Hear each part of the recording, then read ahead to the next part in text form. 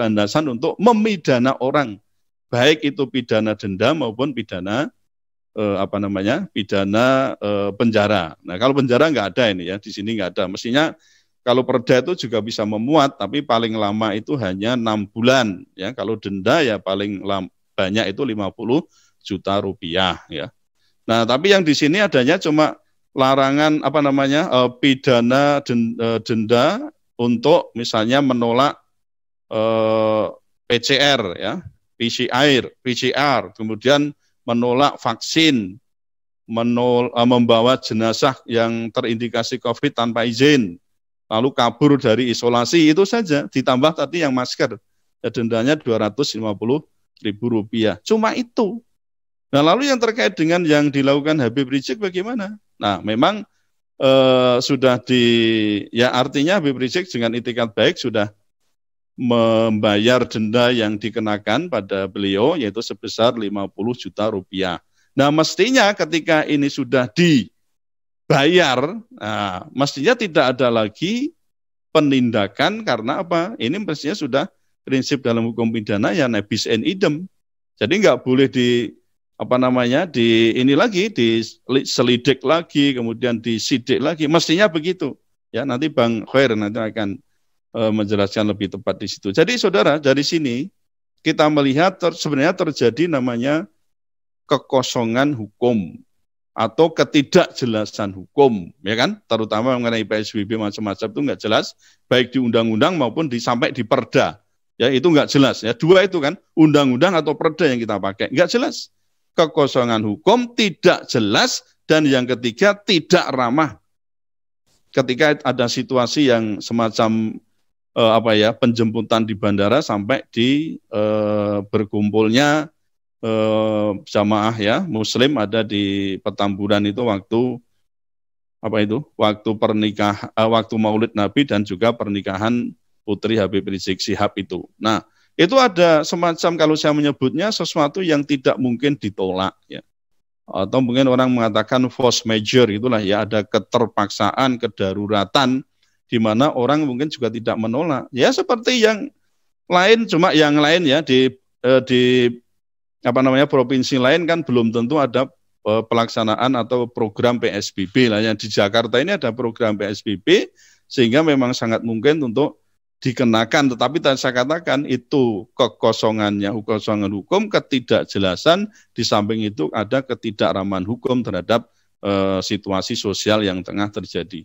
Nah kalau Habib Rizik itu kemudian dikenai pidana, umpama ya masuk di situ, sampai di penyidikan, umpama ya sampai tetap tersangka, mestinya juga Pak Menko Polhukam ikut. Kenapa? Karena mulai dari awal itu kan ada lampu hijau untuk misalnya penyambutan eh, Habib Rizik Sihab di uh, bandara. Jadi kan lampu hijau ini kemudian uh, ditanggapi oleh uh, banyak ya kaum muslimin apalagi ada statement bahwa Habib Rizik itu siapa wong pengikutnya cuma sedikit. Nah, seolah-olah itu uh, muslim ya yang lain ingin membuktikan oh ini Habib Rizik itu banyak itu ya, banyak pengikutnya. Ini loh kami kami kami kami. Kan gitu kan? Jadi akhirnya sampai membludak seperti itu. Coba kalau misalnya dari awal itu dilarang ya karena kita dalam situasi DKI PSBB kemudian ini ini alasan itu maka penjemput maksimal hanya 50 orang. Nah, misalnya begitu. Kan bisa itu dengan tetap menjaga protokol Covid misalnya. Nah, itu kan sejak awal harus tegas begitu, tapi ini kan tidak dilakukan demikian ya. Itu untuk kasus eh, Habib Rizik ya. Jadi sebenarnya ya sama tadi saya katakan ada kebijakan tidak menegakkan hukum demi pemuliaan keadilan substantif. Ya, itu untuk eh, kasus yang tadi ya saya sebut untuk yang apa kerumunan gate. Nah, sekarang tentang baliho gate. Bagaimana dengan baliho gate itu, ya? Jadi eh, kita memang menyayangkan sekali ya pernyataan dari Pangdam Jaya yang mengatakan bahwa di videonya ada itu ya ada berbaju loreng menurunkan baliho Habib Rizik itu adalah perintah saya. Oh, ya. Karena beberapa kali Pol PP menurunkan, dinaikkan lagi, perintah saya itu. Wah gitu ya. Itu kata dari Mayor Jenderal Dudung ya, Abdurrahman. Itu tanggal 20 November 2020 ini eh, beritanya tersiar pada tanggal itu. Nah, jadi kalau dengan demikian apa? Nah, kita mencoba untuk tadi bertaat asas pada negara hukum yang antara lain didasarkan pada misalnya peraturan juga. Kalau ini kita jelas ini ya, aturannya jelas kok. Artinya kalau yang tadi yang saya sebut ah, tidak jelas ada kekosongan dan seterusnya. Tapi kalau yang bicara tentang kewenangan ya atau kita bicara tentang tugasnya, tugas dan wewenang TNI berarti kita apa? kembali kepada peraturan perundang-undangan yaitu Undang-Undang Nomor 34 tahun 2004. Ya kan begitu tentang TNI ya khususnya di pasal 7 ya pasal 7 dan 8 juga ada pasal 7 itu menyebutkan apa sih tugas TNI. Misalnya terkait dengan persoalan Harkamtipmas ya, Harkamtipmas. Harkamtipmas itu sebenarnya kan tugas dari polisi. Ya, sesuai dengan Undang-Undang Nomor 2 tahun 2002 ya tugas salah satu tugasnya dari tiga itu salah satu adalah harkam tipmas memelihara keamanan dan ketertiban masyarakat ini tugas pokok polisi gitu loh nah di undang-undang TNI itu bunyinya membantu kan itu kan membantu pemeliharaan keamanan dan ketertiban masyarakat polisi yang membantu polisi dalam menyelenggarakan eh, tugas keamanan dan ketertiban. Jadi sifatnya apa? Membantu.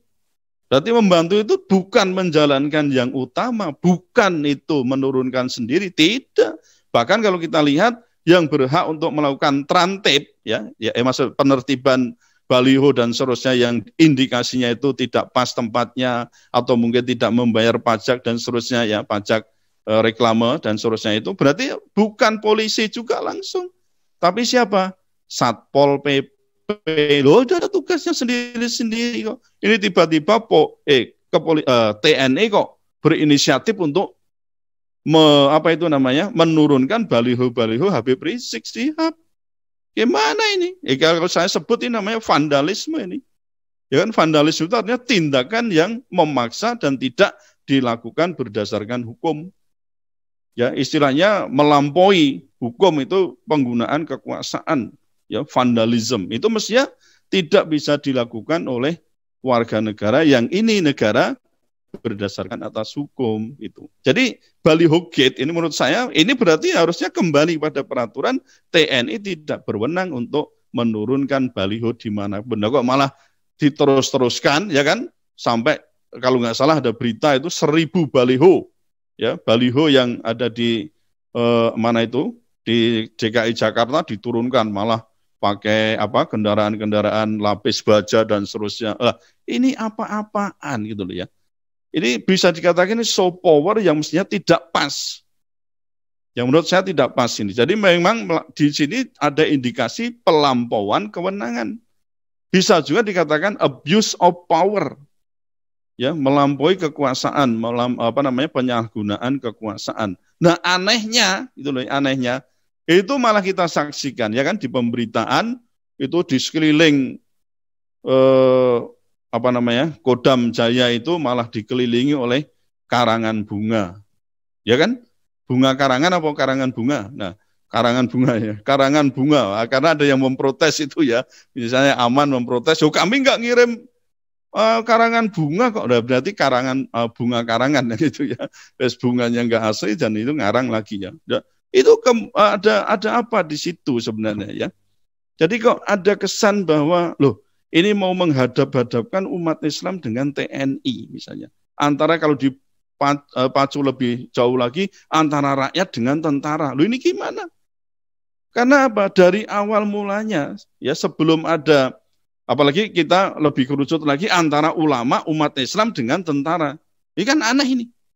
Lowong dulu tentara itu ada juga karena ada apa namanya eh, majelis jihad atau apa itu ya, yang cikal bakalnya bagaimana tentara itu ada. Jadi sebelum ada TNI kita sudah punya umat Islam sudah membentuk apa namanya majelis-majelis yang eh, maksudnya kelompok-kelompok yang melawan eh, mengangkat senjata melawan penjajah gitu loh.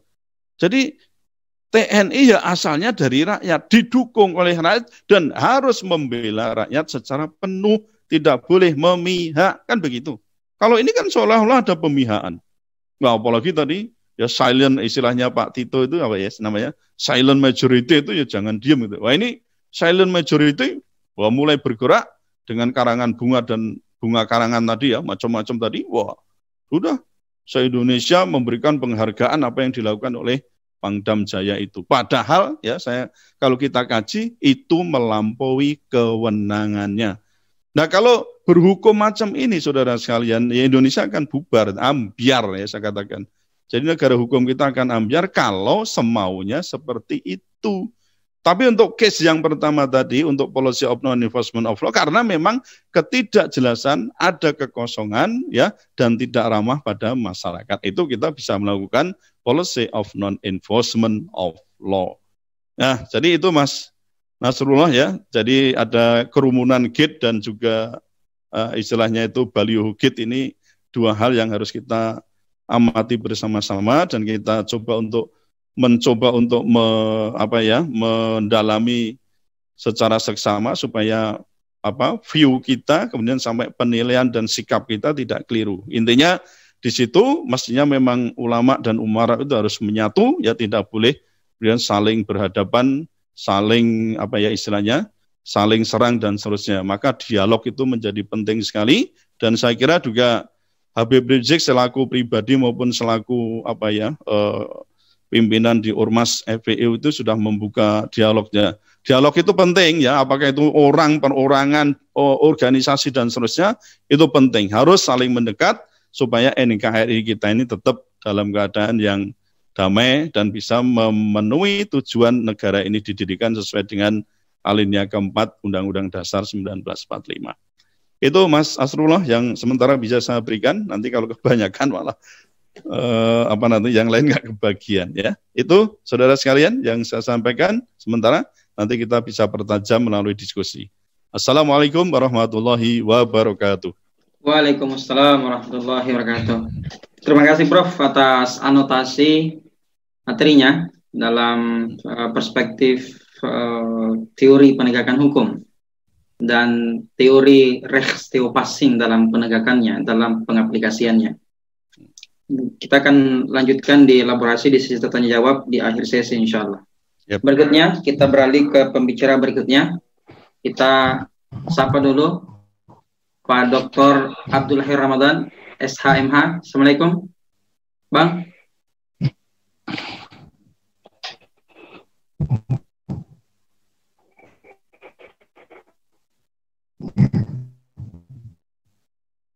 Bisa diaktifkan videonya Pak.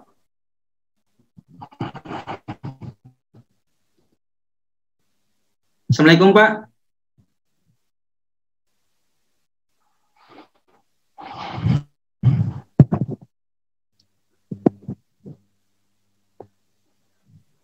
Suaranya tidak ke ke kedengaran Pak. Waalaikumsalam warahmatullahi wabarakatuh. Kabar sehat. Alhamdulillah. Bagaimana kabarnya Pak, Pak Ramadan? Terdengar suara saya? Alhamdulillah. Jelas Pak? Halo? Oh jaringan ya? Sepertinya jaringan beliau kurang stabil. Ya, Ada... sudah. Sudah, sudah Pak. Gimana? Pak Ramadan, jelas Pak?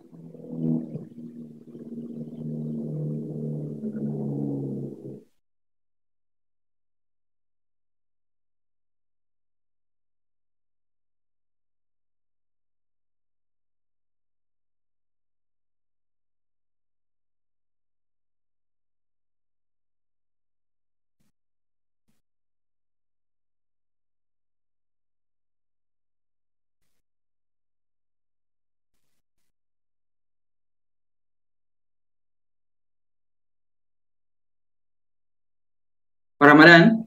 Assalamualaikum, Pak.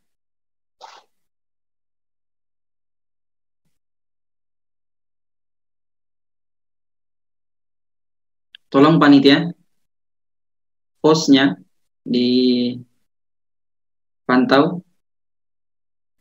Itu akunnya Pak Abdul Khair Ramadan untuk ditampilkan di layar.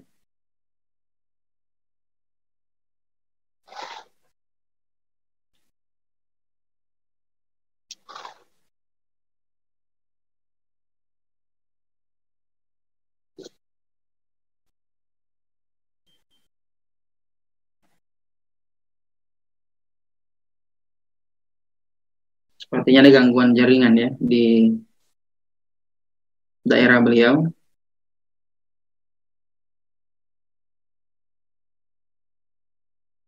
Ya ada informasi beliau disconnect ya. Oh ya, lanjut aja dulu Mas yang uh, Ustadz Najmuddin Najamuddin bisa toh yang lain. Ya Prof, uh, Ustadz Najamuddin barusan konfirmasi Prof, beliau sekarang lagi di Hotel Sultan hmm. lagi pembukaan Munas MUI untuk pemilihan ketua baru menggantikan yang mulia wakil presiden sehingga beliau izin tidak ikut walaupun sebenarnya konfirmasi hadir. Iya iya. sekarang iya. beliau bersama wapres Prof. Jadi wah iya, iya, iya. enggan ini untuk join. Waktunya sangat sempit. Jadi beliau sampaikan permohonan maaf ke peserta. Tadi sem tadi sempat join di room kita untuk bergabung, tetapi melihat kondisi beliau menyampaikan sepertinya kurang kurang pas waktunya dan kesempatan untuk hadir menyampaikan ide-ide berkenaan dengan topik kita malam ini. Ya, ya. Tadi sedikit ya menyambung yang sampaikan oleh Pangdam itu berita yang terkini tadi saya mendengar ada pernyataan yang blunder lagi itu bahwa yang kalau orang apa namanya Pancasila itu pasti beragama kan itu kan kalau orang yang beragama belum tentu Pancasilais ah itu termasuk sesuatu yang baru itu kan. Pangdam menyampaikan begitu ya sudah saya tulis itu loh. Nah dulu namanya PKI itu ya ngaku-ngaku Pancasilais tapi mereka kenapa tidak beragama itu loh ya. jadi sesuatu hal yang jadi masalah lagi.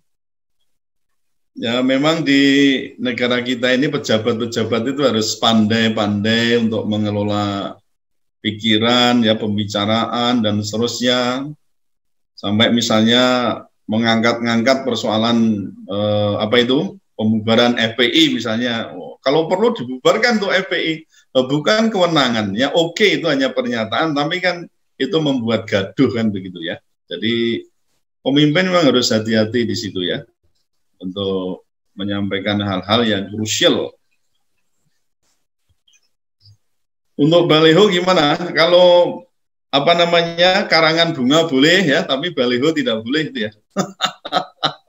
Kalau gitu ganti aja di karangan bunga itu ya. ya kan?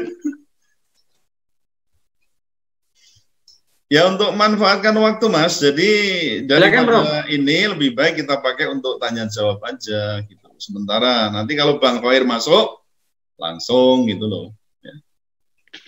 Tapi ya, ya terserah Anda lah, ngomong saya kan namanya. Ya Prof, uh, informasi juga uh, akun Twitter HRS Center ini lagi dihack Prof. Ya, ya betul. Ya tadi dikonfirmasi oleh Bang Hoir.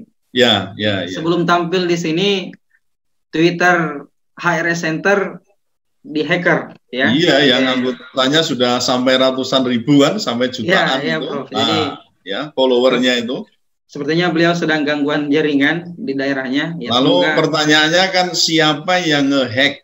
Nah, siapa yang men-take down? Nah, itu jadi masalah itu. yang men-take down ya pengurusnya Twitter kan itu kan? Bisa kita berikan waktu untuk Pak Sulaiman Majid dari Universitas Ibnu Khaldun Bogor untuk ah, itu. berbicara untuk menyampaikan Oh ya, Pak Abdul Khair sudah bergabung.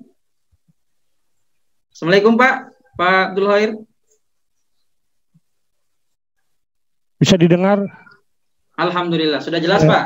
Iya, baik. Ya, mohon Jadi maaf sebelum ini. saya persilakan, Bang, ya, saya ya. ingin sampaikan dulu ke peserta bahwa beliau, Pak Dr. Abdul Khair Ramadan, SHMH, beliau merupakan Direktur Habib Rizik Shihab Center.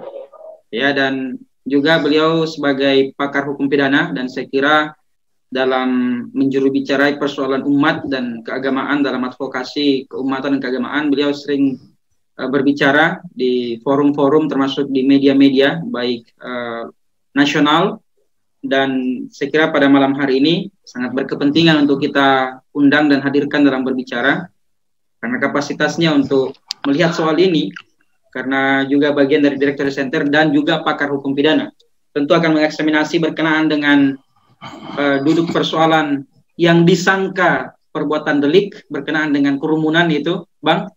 Dan ya, ya. yang kedua berkenaan dengan apakah penegakan hukum peraturan daerah itu front line-nya bahkan dengan menggunakan festival kendaraan lapis baja itu luar biasa bang. Itu eksaminasi akademisnya seperti apa? Dan yang berikutnya dalam menyoal berkenaan dengan dinamika akhir-akhir ini secara fair baik dari sisi keilmuan akademis di hukum dan juga neraca berbangsanya menurut Bang Hoir itu seperti apa? Silakan Bang, 30 menit kami persilahkan dengan hormat. Apa tuh masykuran wa majuran. Baik, Assalamualaikum warahmatullahi wabarakatuh. Waalaikumsalam. Ya, yang terhormat Prof. Steki, para pembicara yang lainnya dan penyelenggara diskusi publik pada malam ini. Ya, pada prinsipnya penerapan hukum terhadap protokol kesehatan itu mengalami kerancuan dan dengannya menimbulkan polemik berlakunya hukum penerapan hukum protokol kesehatan itu sendiri. Pertama, menyangkut keberlakuan pasal 9 junto pasal 93 Undang-Undang Nomor 6 tahun 2018 tentang kekarantinaan kesehatan. Ya, di sini menurut saya daya berlaku daripada pasal aku itu menuju kepada kekarantinaan. Tepatnya karantina wilayah. Sehingga polemik yang terjadi apakah dasar hukum keberlakuan PSBB itu termasuk dalam ruang lingkup pasal 9 junto pasal 93 Undang-Undang Kekarantinaan Kesehatan. Bagi saya tidak ada nomenklatur, tidak ada norma hukum yang mengatur secara tegas dan jelas tentang larangan PSBB Kenapa? Karena hukum itu harus strict dia, dia harus pasti, tidak boleh ditafsirkan dengan analogi. Jadi harus jelas. Dan dalam hukum itu ada unsur. Unsur ada yang tersirat, ada yang tersurat. Kalau yang tersurat ya, secara ekspresis perbis disebut, dia menjadi bestandil delik. Ada unsur yang tidak disebutkan secara ekspresis perbis tapi dia secara implisit terbenih. Itu yang kita sebut elemen. Seperti contoh banyak pasal dalam peraturan undangan tidak menyebut sifat melawan hukum. Akan tetapi apabila semua unsur terpenuhi maka dengan sendirinya melawan hukum itu terpenuhi. Tetapi ketika satu unsur satu norma disebutkan ya dalam satu pasal dia menjadi bestandil delik. Harus dibuktikan. Seperti contoh dengan sengaja. Ketika dia disebut dengan sengaja berarti jelas harus dibuktikan. Ya. Nah terkait dengan permasalahan kerumunan. Kerumunan itu satu istilah yang tidak terdapat dalam Undang-Undang Kekarantinaan Kesehatan maupun dalam Undang Nomor 4 tahun 1984 tentang wabah penyakit menular. Itu tidak ada. Ada disebut dalam peraturan menteri atau keputusan menteri. Tetapi peraturan menteri dan keputusan menteri tidak dapat naik derajatnya menjadi unsur pidana karena unsur pidana harus ditentukan oleh undang-undang. Itu permasalahannya. Nah, keberlakuan PSBB itu sangat lekat kaitannya dan memang didasarkan oleh Undang-Undang Nomor 6 Tahun 2018 tentang kekarantinaan kesehatan karantina kesehatan PSBB tidak dikenal dalam Undang-Undang Nomor 4 tahun 2000 tahun 1984 tentang wabah penyakit menular. Nah, sekarang kita lihat proses penyelidikan yang dilakukan oleh kepolisian. Proses penyelidikan itu adalah dalam kepentingan dalam rangka untuk menentukan apakah perbuatan itu baik yang ditemui oleh penyi, penyi, dalam tahap penyelidikan atau dalam laporan laporan dari masyarakat merupakan perbuatan pidana atau bukan. Itu dulu yang ditentukan. Nah sekarang bekerjanya proses penyelidikan, Gubernur Anies Baswedan dipanggil, ya. Pihak-pihak lain dipanggil, bahkan pengantin putri dan menantu Habib Rizik dipanggil. Dalam kapasitas apa dipanggil? Kalau seseorang dipanggil harus jelas posisi dan kedudukannya. Dia dipanggil untuk saksi. Kalau bicara saksi berarti dalam proses penyidikan. Apa itu penyidikan? Adalah dalam kepentingan mendapatkan dua alat bukti minimal dan guna membuat terang perkara tidak pidana yang disangkakan dan guna untuk menentukan tersangkanya. Nah sekarang relevansi dan urgensitas pemanggilan pengantin ini menjadi aneh. Dalam kepentingan apa? Dalam hal saksi seperti Anies Baswedan dan yang lainnya. Saksi itu mengalami, melihat, mendengar secara langsung dan dia harus memiliki dasar pengetahuan untuk kesaksian itu. Nah ini tidak ada relevansinya. Berarti penerapan hukum dalam pemanggilan saksi diturunkan ke dalam tahap penyelidikan.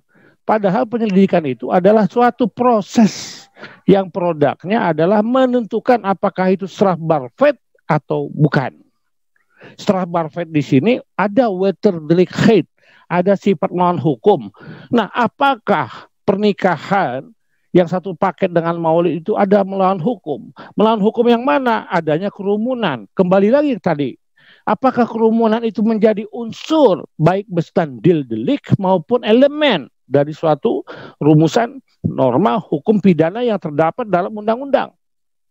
Nah itu itu permasalahannya. Ini sangat prinsip. Ya, sangat prinsip. Bagi saya tidak ada sifat non hukum, tidak ada wetter liquid karena tidak ada perbuatan pidana. Kenapa? Karena PSBB tidak ada sanksi bagi pelanggarnya. Kalaupun diterapkan PSBB itu, kalaupun misalkan terhadap semua orang yang tidak mematuhi protokol kesehatan bukan hanya penyelenggara dalam bentuk kegiatan apa pun. In case Maulid Nabi dan pernikahan Putri Imam Besar Habib Rizik. Yang hadir di situ juga harus diproses secara pidana. Apakah mungkin? Apakah mungkin itu? Karena menurut Pak rumusan pasal 55 ayat 1 angka ke 1 itu delneming adalah perluasan pertanggungjawaban pidana bukan perluasan perbuatan pidana. Ya. Semuanya itu termasuk jamaah yang hadir baik diundang maupun tidak diundang yang tidak memenuhi protokol kesehatan yang berdesak-desakan, yang berdepet-depetan, yang tidak memakai masker, itu harus dipidana. Diproses pidana kan tidak mungkin ini. Begitu juga terkait dengan pelanggaran pelanggaran protokol kesehatan dalam penyelenggaraan pilkada. Ya. Setidaknya ada 397 pelanggaran protokol kesehatan. Di situ juga ada putra dan menantu presiden. Terlebih lagi khusus kubu menantu presiden di Medan tercatat sebanyak 14 kali melakukan pelanggaran. Maka berdasarkan hukum, semua orang yang terlibat sebab melanggar protokol kesehatan terkait dalam hal ini katakan kerumunan juga harus diproses. Baik konsist baik peserta pilkada, panitianya, calonnya, ya masanya, para yang hadir juga yang membantu, yang memberikan izin juga harus diproses kan tidak mungkin. Tapi kalau berdasarkan ajas equality before the law ya harus. Nah sekali lagi di sini saya ingin mengatakan dalam hukum itu bukan bicara kepastian, bukan hanya bicara keadilan, tapi juga bicara kemanfaatan. Ya, mengapa dikatakan demikian? Kita lihat apakah lebih banyak manfaatnya, maslahatnya daripada mudorotnya ketika penerapan hukum ditindak secara tegas dengan mengacu kepada undang-undang pasal aku terhadap pelanggaran protokol kesehatan. Tentu lebih banyak mudorotnya daripada maslahatnya dan tidak mungkin diterapkan semuanya itu. Ya, tentu di sini terlihat karena lebih banyak mudorotnya suatu hal yang tidak mungkin semua pihak baik calon kepala daerah ya in case putra dan menantu presiden. Di sisi lain Habib Rizik dan para jamaahnya dan gubernur semuanya harus diproses dengan pidana penjara disebutkan di situ. Paling lama satu tahun dan denda. Sebanyak paling banyak itu 100 juta. Kan hal yang tidak mungkin. Tentu aspek manfaatnya ini dalam bekerjanya hukum juga harus dipertimbangkan semata-mata bukan hanya melihat kepastian hukum belaka tapi Gustav Rahbah menyimpulkan bahwa tujuan hukum ide itu mengacu kepada kepastian, keadilan, kemanfaatan. Reaksi kehid, gerechtigheid, zweckmatigheid itu harus menyatu. Apabila tidak bermanfaat dan menimbulkan mudarat, tentu akan sia-sia penerapan hukum itu. Ya. Nah, ini yang menjadi tolak ukur kita dalam menyikapi bagaimana bekerjanya hukum itu di masyarakat. Tadi Prof. Suteki sudah memberikan gambaran. Kerumunan itu tidak jelas batasan pengertiannya. Ya. Nah, bagaimana menerapkan sesuatu norma hukum yang tidak jelas? Tidak boleh hukum pidana melakukan analogi. Bagi saya, tidak dapat dibenarkan menganalogikan PSBB dengan karantina. Itu dua hal yang berbeda. Dan oleh karenanya itu harus ditolak. Kemudian terkait keberlakuan pasal 216 KUHP. Ya. Ini kan dikaitkan dengan pasal 9 juta pasal 93 Undang-Undang Kekarantinaan Kesehatan dalam proses penyelidikan terhadap Anies Baswedan dan lain-lain.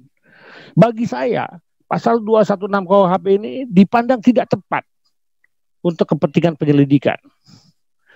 Mengapa pasal 216 KUHP ini tidak ada relevansinya dengan penyelenggaraan PSBB? Pasal 216 ini karena tidak ada relevansinya dengan penyelenggaraan PSBB, di sisi lain tidak ada perbuatan dalam PSBB, maka keberlakuan pasal 216 KUHP itu tidak dapat diterapkan. Tidak ada tindak pidana asalnya. Istilahnya tidak ada tindak pidana asalnya kalau dalam ilmu tentang hukum pidana pencucian uang. Tidak ada predikat kremnya. Pasal 216 itu tidak berdiri sendiri dia terkait dengan pasal yang lainnya. Katakan dalam pasal dalam masalah ini pasal 9 junto pasal 93 Undang-Undang Kekarantinaan Kesehatan. Berarti pasal 9 junto pasal 93 Undang-Undang Kekarantinaan Kesehatan dia adalah sebagai tindak pidana asal predikat crime. Nah, sepanjang tidak ada tindak pidana asalnya, ya untuk apa pasal 216 ini kau berjalan? Terlebih lagi unsur menghalang-halangi. Siapa yang menghalang-halangi? sehingga menimbulkan kedaruratan kesehatan masyarakat. Ya. Pertanyaan lanjutannya, bukankah kedaruratan masyarakat itu kedaruratan kesehatan masyarakat itu telah terjadi dan telah ditetapkan oleh Kepres nomor 11 tahun 2020 oleh presiden. Ya, itu itu karena apa? Karena ini sesuatu hal yang tidak dapat diterapkan karena tidak ada tindak pidana asalnya menunjuk kepada keberlakuan PSBB yang tidak diatur dalam undang-undang termasuk tentang yang kita kenal sekarang ini kerumunan.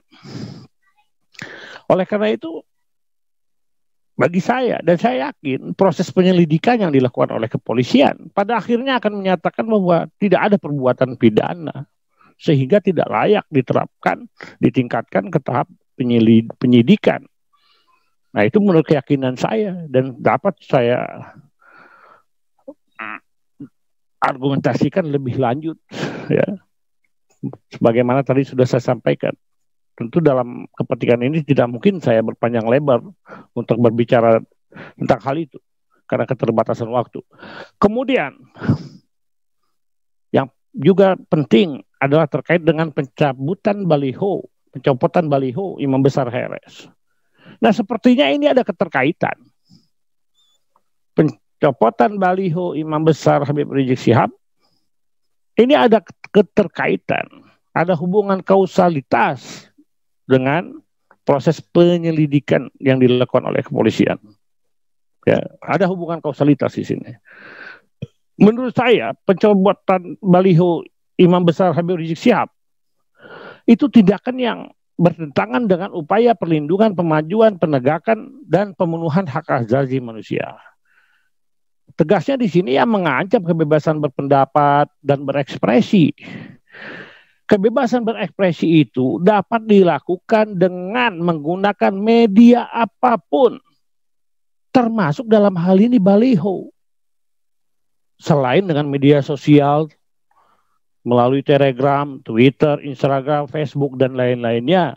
Itu di semuanya itu disebutkan secara tegas dalam pasal 28E ayat 2 dan pasal 28F Undang-Undang Dasar 1945. Dan dalam Undang-Undang HAM disebutkan. Begitupun dalam pasal 19 Konvensi Vol, Konvensi Pol dan dalam pasal 19 Deklarasi Universal Hak Asasi Manusia. Itu semua disebutkan. Seseorang itu berekspresi, berpendapat sesuai dengan keyakinan hati nuraninya dengan saluran, dengan media apa pun. Tidak ada pembatasan. Yang terjadi adalah pencopotan baliho. Baliho itu adalah sarana satu wadah untuk menyatakan pikiran dan pendapat. Dia termasuk kebebasan berekspresi, baik berupa tulisan maupun gambar dan lain-lainnya, sepanjang tidak menyalahi hukum positif, sepanjang tidak ada narasi berupa suatu perbuatan perkataan yang termasuk delik.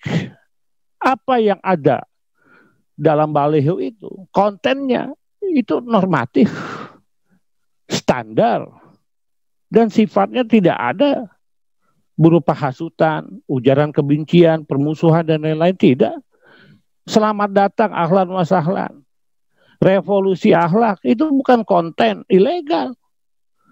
Nabi Muhammad SAW itu melakukan revolusi akhlak. Khulafarosidin itu revolusi akhlak sampai Khalifah Osmania, revolusi ahlak. Jangan dikaitkan revolusi ahlak ini seperti revolusi berdarah-darah. Ini yang salah. Ya. Dan juga bukan dalam domain kewenangan TNI. Dalam hal pencopotan itu. Berarti di sini ada satu tindakan yang mencabut kebebasan berekspresi dan berpendapat itu. Ini berlanjut terus sampai ke media sosial. Termasuk Twitter resmi HRS Center. Pengikutnya 29 ribu. Sejak kemarin dihilangkan, didiajikan nol. Dihilangkan followernya yang berjumlah 29 ribu itu. Sebelumnya telegram resmi HRS Center. Saya sebagai selaku admin diganti adminnya sehingga saya tidak mampu lagi untuk mengoperasikannya. Begitupun Facebook ketika ada konten tentang Habib Rizik, foto Habib Rizik langsung tidak bisa diaktifkan. Begitupun Instagram. Nah, ini semua adalah suatu tindakan yang menegasikan kebebasan berekspresi dan berpendapat sesuai dengan keyakinan hati nurani. Semua ini jelas bertentangan dengan konstitusi, dengan hukum positif dan hukum internasional. Nah, terkait dengan perintah Pangdam dalam pencopotan baliho Imam Besar Habib Rizik. Yang saya tahu, sebelumnya pada tanggal 18 November, pengurus FPI datang ya ke Kodam Jakarta. Tidak ada masalah. Baik-baik saja. Nah ini ada apa sebenarnya? Apakah ada tekanan atau apa? Ya kita tidak tahu. Yang jelas apabila mengacu kepada Undang-Undang Nomor 34 Tahun 2004 tentang Tentara Nasional Indonesia, ya di situ disebutkan di pasal 7 ayat 2 ada dua bentuk tugas daripada TNI, yaitu operasi militer untuk perang dan operasi militer selain perang. Khusus untuk operasi militer selain perang, itu ada 14 macam bentuk. Salah satu bentuknya adalah yang terkait dengan fungsi kepolisian, yaitu pemeliharaan ke ketertiban, ke keamanan, ketertiban masyarakat, kamtipmas, dan sifatnya pun pembantuan, ya, perbantuan sifatnya. Sepanjang ada permintaan perbantuan dimintakan oleh kepolisian, maka barulah dapat personel TNI melibatkan dirinya. Nah, hanya saja kewenangan penertiban baliho itu bukan ada pada kepolisian, itu ada kepada Satpol PP. Nah, Satpol PP yang melaksanakan tugas itu. Nah, kenapa sekarang diambil alih oleh TNI? Pencobotan ini tentu menjadi bermasalah dan tidak sesuai dengan jati diri daripada TNI itu. Jati diri TNI itu disebutkan bahwa tentara profesional itulah menjadi jati diri TNI yang mengikuti kebijakan politik negara yang menganut prinsip demokrasi, supremasi sipil, hak asasi manusia, ketentuan hukum nasional, hukum positif maksudnya, dan hukum internasional yang telah diratifikasi. Itu jati diri TNI. Salah satu jati TNI itu tentara profesional. Jadi merujuk kepada ketentuan ini tidak sepantasnya pencopotan baliho itu dilakukan karena bertentangan jat, dengan jati diri TNI sebagai tentara profesional. Ya memang TNI memiliki fungsi sebagai penangkal, penindak terhadap setiap bentuk ancaman militer dan ancaman bersenjata dari luar dan dari dalam negeri terhadap kedaulatan, keutuhan wilayah dan keselamatan bangsa. Selain juga sebagai pemulih terhadap kondisi keamanan negara yang terganggu akibat adanya kekacauan keamanan. Itu disebutkan di pasal 6 Undang-Undang nomor 34 tahun 2004 tentang Tentara Nasional Indonesia. Nah, di sini jadi dipertanyakan ya. Saya pribadi mempertanyakan terkait dengan pencabutan pencopotan baliho itu apakah keberadaan baliho IBHRS dan diri IBHRS itu benar-benar telah mengganggu keamanan negara yang kemudian menimbulkan akibat kekacauan keamanan dan oleh karenanya TNI harus memulihkannya melalui pencopotan baliho IBHRS. Jika ya kapan dan di mana terjadinya kekacauan keamanan tersebut? Kan tidak ada. Tidak ada fakta hukum yang menjelaskan kondisi demikian. Tidak ada. Dalam hukum itu tidak dibenarkan asumsi. Hukum itu melihat kenyataan yang sungguh-sungguh terjadi reh in actu. Jadi tidak boleh hanya prasangka.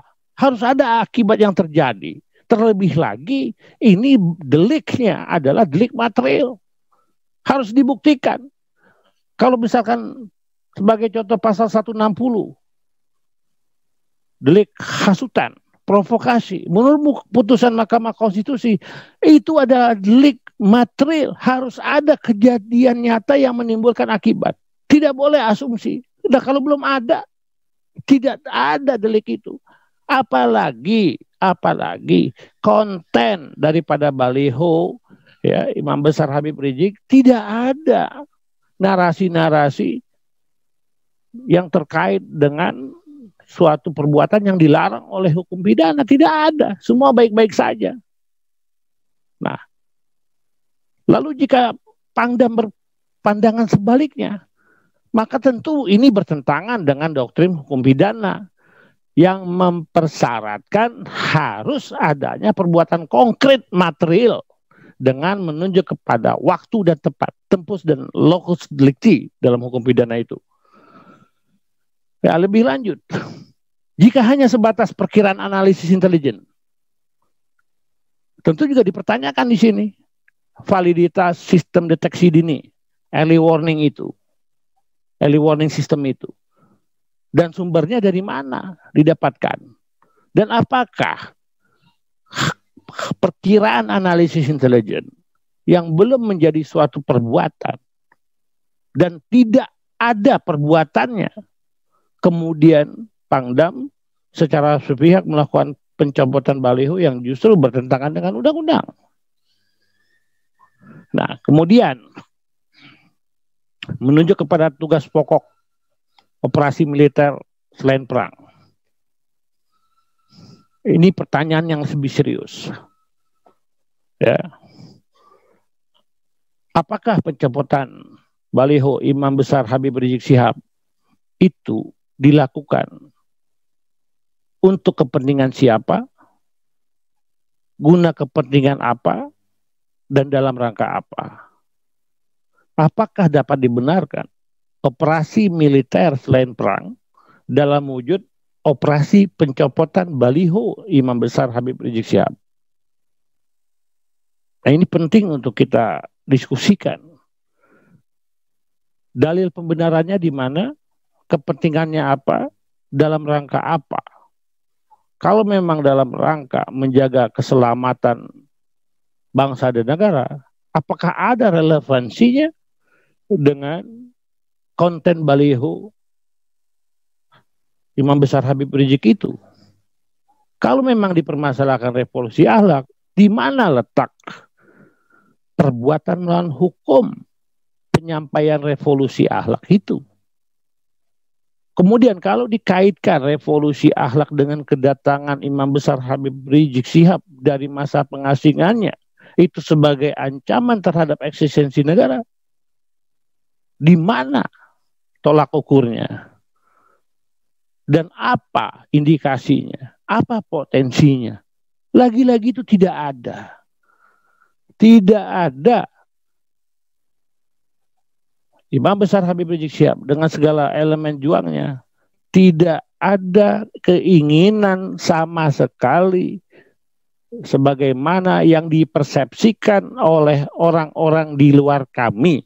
Sesungguhnya orang-orang yang di luar kami yang selama ini berseberangan dengan kami itu hanyalah menyulut fitnah kepada imam besar yang mulia Habib Rizik Syihab dan dengan segala elemen juangnya. Demikian yang dapat saya sampaikan.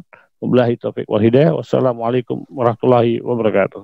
Waalaikumsalam warahmatullahi wabarakatuh. Saya kira materi yang sangat menarik dari Bang Abdul Khair Ramadan. Insya Allah kita akan lanjutkan ke sesi tanya jawab setelah pembicara terakhir menyelesaikan. Sekarang kita ke pembicara terakhir, Assalamualaikum Bang, Bang Fah Dr. Fahri Bahmid. Waalaikumsalam warahmatullahi wabarakatuh. Ini saya sampaikan ke peserta, beliau sebenarnya sedang kurang fit ya, tetapi ya. alhamdulillah di tengah kondisi yang uh, kurang fit masih tetap hadir untuk mengedukasi masyarakat dalam diskursus pada malam hari ini. Ada dua uh, objek bahasan yang saya ingin tanyakan secara khusus ke Bang Dr. Fahri Bahmid, MH perkenaan satu tentang tulisan beliau. Saya baca di Jawa Pos tulisan beliau terkait dengan kedudukan instruksi Menteri Dalam Negeri menyikapi ya. problem dan dinamika eh, kepemerintahan daerah yang memberikan bold underline dalam satu diksi tentang pemberhentian saya kira mungkin kita baca instruksi uh, mendagrinya ada garis bawah yang tebal berkenaan dengan pemberhentian yang sebenarnya bukan item baru tapi sudah diatur secara ekspresif verbis dalam Undang-Undang 23 tahun 2014 tentang pemerintahan daerah. Dan saya kira tulisan beliau uh, bisa jadi referensi dan cukup menohok dalam konstitusi tata negara. Satu, kemudian uh, yang kedua, juga tulisan beliau di liputan 6 berkenaan dengan uh, desain TNI dalam uh, konstitusi yang justru dianggap oleh beliau mendowngrade satu uh, organ konstitusional yang ada dalam konstitusi yang disebutkan di bab uh, 12 pertahanan dan keamanan negara pasal 30 ayat 3 tentang fungsi TNI yang untuk mempertahankan, melindungi dan memelihara keutuhan dan kedaulatan negara.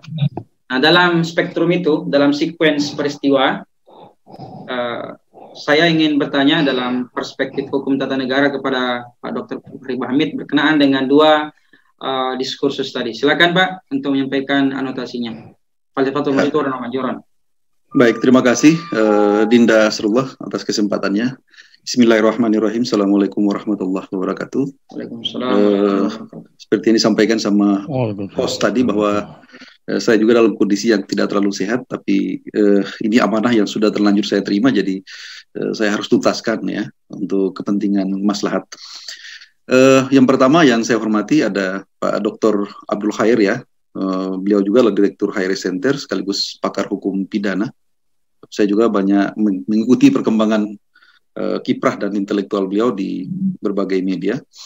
Yang kedua ada Profesor Dr. Suteki uh, yang amat terpelajar ya. Tadi juga mungkin sudah mendahului menyampaikan pandangan dan pikiran-pikirannya walaupun uh, tidak sempat saya simak dengan baik.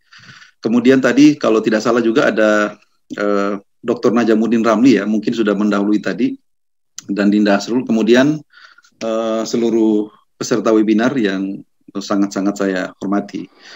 Jadi begini, ke, ada dua pertanyaan hipotesa yang diajukan oleh uh, Hasrullah tadi terkait dengan apa namanya eksistensi dan kedudukan instruksi Mendagri dan yang kedua tentang uh, eh, TNI sebagai organ konstitusional. Ya memang uh, saya kemarin dengan cepatnya merespons uh, berbagai kebijakan itu dengan uh, sebuah tulisan ya yang saya sudah uh, kemukakan dan telah dimuat di beberapa media nasional untuk itu. Jadi yang pertama kebetulan uh, penelitian saya uh, karena konsentrasi saya adalah hukum tata negara, uh, basis penelitian saya dalam disertasi doktor kemarin terkait dengan impeachment presiden sebenarnya. Jadi saya mencoba untuk melakukan kajian sekaitan dengan uh, ketentuan norma konstitusi pasal uh, 7A 7B dan pasal 24C yang berkaitan dengan bagaimana seorang kepala negara, bagaimana seorang presiden dan wakil presiden itu diberhentikan. Walaupun tidak bermaksud bahwa itu adalah sebuah uh, alasan pembenar, tetapi saya harus sampaikan bahwa ada paradigma ketatanegaraan kita yang harus kita dudukan secara benar. Begitupun eh, dalam konteks mengisi dan memberhentikan. Ya, karena konsep yang kita pakai dalam uh, bernegara, berbangsa dan bernegara saat ini, pilihannya adalah uh, pengisian jabatan-jabatan publik, semisal presiden dan semua jabatan uh, eksekutif yang ada di bawahnya, gubernur, bupati, dan wali kota dilakukan secara langsung juga oleh rakyat. Sehingga dengan demikian cara yang terbaik yang dipakai di dunia ya, yang dipakai di seluruh dunia itu cara yang paling terbaik adalah mekanisme pemberhentian pun harus melalui mekanisme yang mengedepankan prinsip daulat rakyat. Jadi eh, kalau ada yang berargumentasi bahwa dasar atau eh, pijakan untuk eh, kepala negara ataupun menteri terkait melakukan pemberhentian ataupun pencopotan itu seolah-olah mencoba untuk dikaitkan dengan satu azas yang yang disebut dengan uh, contrario actus ya. Asas uh, contrario actus itu kan satu asas yang berlaku di lapangan hukum administrasi sebenarnya. Ya, jadi itu berkaitan dengan keputusan atau belate yang berada pada ranah lapangan hukum administrasi negara. Tetapi bagaimana kalau dikaitkan dengan konteks uh, apa namanya memberhentikan seorang kepala daerah gitu ya? Tentunya tidak bisa secara serta-merta kita memperlakukan azas itu untuk uh, seorang menteri ataupun seorang presiden sekalipun itu bisa memberhentikan dengan prinsip itu. Itu tidak bisa. Karena beda kepala dinas ya kan ataupun kepala bidang, kepala seksi ya dalam satu struktur uh, pemerintahan itu kan diangkat. Karena prinsipnya kan uh, political appointee ya. Jadi karena dia mengangkat dia memberhentikan sewaktu-waktu bisa saja. Tapi pertanyaannya mengangkat kepala daerah siapa? Bukan bukan gubernur apa bukan bukan presiden atau bukan mendagri. Yang mengangkat itulah rakyat sendiri. ya, jadi melalui political election sehingga basisnya itu tidak bisa didekatkan dengan teori apa pun yang berkaitan dengan uh, apa namanya kewenangan atau otoritas yang ada pada pemerintah. Itu tidak bisa. Nah, bagaimana cara memberhentikannya? Dalam Undang-Undang 23 2014 tentang pemerintahan daerah sebenarnya sudah mengadopsi semangat itu, spirit itu. Makanya saya mau kembali dulu yang tadi bahwa presiden itu tidak bisa diberhentikan seperti dulu ketika Abdurrahman Wahid diberhentikan. Dulu pernah dengar mungkin sejarah yang cukup menggemparkan dan banyak memberikan inspirasi terhadap perubahan-perubahan ketatanegaraan kita. Bagaimana presiden diberhentikan dengan cara yang sewenang-wenang. Ya, saya katakan waktu itu Gus Dur diberhentikan dengan cara yang memang agak sewenang-wenang gitu ya. Oh, ada bukan skandal tapi ada semacam uh, apa namanya uh, otoritarian uh, apa namanya mayority gitu ya. Jadi karena ada penggabungan partai-partai membentuk satu kelompok besar dan pada akhirnya bisa melengsarkan. Diberhentikan pun bukan berdasarkan pada pada postulat-postulat hukum, bukan berdasarkan pada postulat-postulat konstitusional, tetapi berdasarkan kepada apa yang dikehendaki oleh parlemen pada saat itu, apa yang dikehendaki oleh wakil rakyat pada saat itu. Nah, itu yang sebenarnya tidak boleh. Makanya dengan dengan dengan kejadian itu, peristiwa itu, sudah ada langkah koreksi secara konstitusional dengan adanya perubahan pertama, kedua, ketiga, dan keempat. Nah, kebetulan masalah impeachment itu telah diatur dalam perubahan ketiga, bahwa kepala negara itu karena prinsip daulat rakyat tadi tidak bisa diberhentikan dengan alasan politik, tetapi murni adalah alasan hukum. Nah, spirit ini yang menjadi guidance terhadap perumusan norma yang berkaitan dengan pembentukan pranata pemerintahan kepala daerah. Nah, itu yang kita kenal dalam Undang-Undang 23 tahun 2014 tentang daerah bahwa seorang kepala daerah bisa diberhentikan terkecuali ya terkecuali misalkan uh, melakukan pelanggaran hukum. Apakah dia nanti kena OTT dan segala macam mungkin itu seketika bisa dilakukan tindakan pemberhentian. Tetapi kalau sepanjang menyangkut dengan adanya instrumen penyelidikan adanya instrumen apa namanya mencari kesalahan atau mencari bukti itu tidak bisa pintunya adalah harus melalui instrumen DPRD dianggap uh, representasi, representasi rakyat secara tidak langsung melalui DPRD itu, lalu DPRD dengan segala perangkat uh, apa namanya uh, kewenangannya, apakah melalui angket, apakah melalui hak menyatakan pendapat, apakah melalui panitia khusus dan lain sebagainya, sehingga pada akhirnya pendapat itulah yang dituangkan dalam sebuah risalah dan dimintakan diputuskan atau diperiksa diputuskan oleh Mahkamah Agung. Jadi tetap dalam kerangka hukum. Jadi tetap tetap ada kontrol uh, yudisial yang dilakukan oleh Mahkamah Agung. Jadi tidak bisa juga sewenang-wenang DPRD apa namanya karena bisa memenuhi dua per tiga atau tiga per empat dari suara yang ada, lalu pada akhirnya seseorang di, di, dijatuhkan atau diberhentikan. Nah pendapat itu itu adalah pendapat pendapat politik nanti diberikan jubah hukum. Jadi nanti mantel hukumnya itu diberikan oleh Mahkamah Agung. Apakah pendapat itu beralasan menurut hukum ataukah tidak?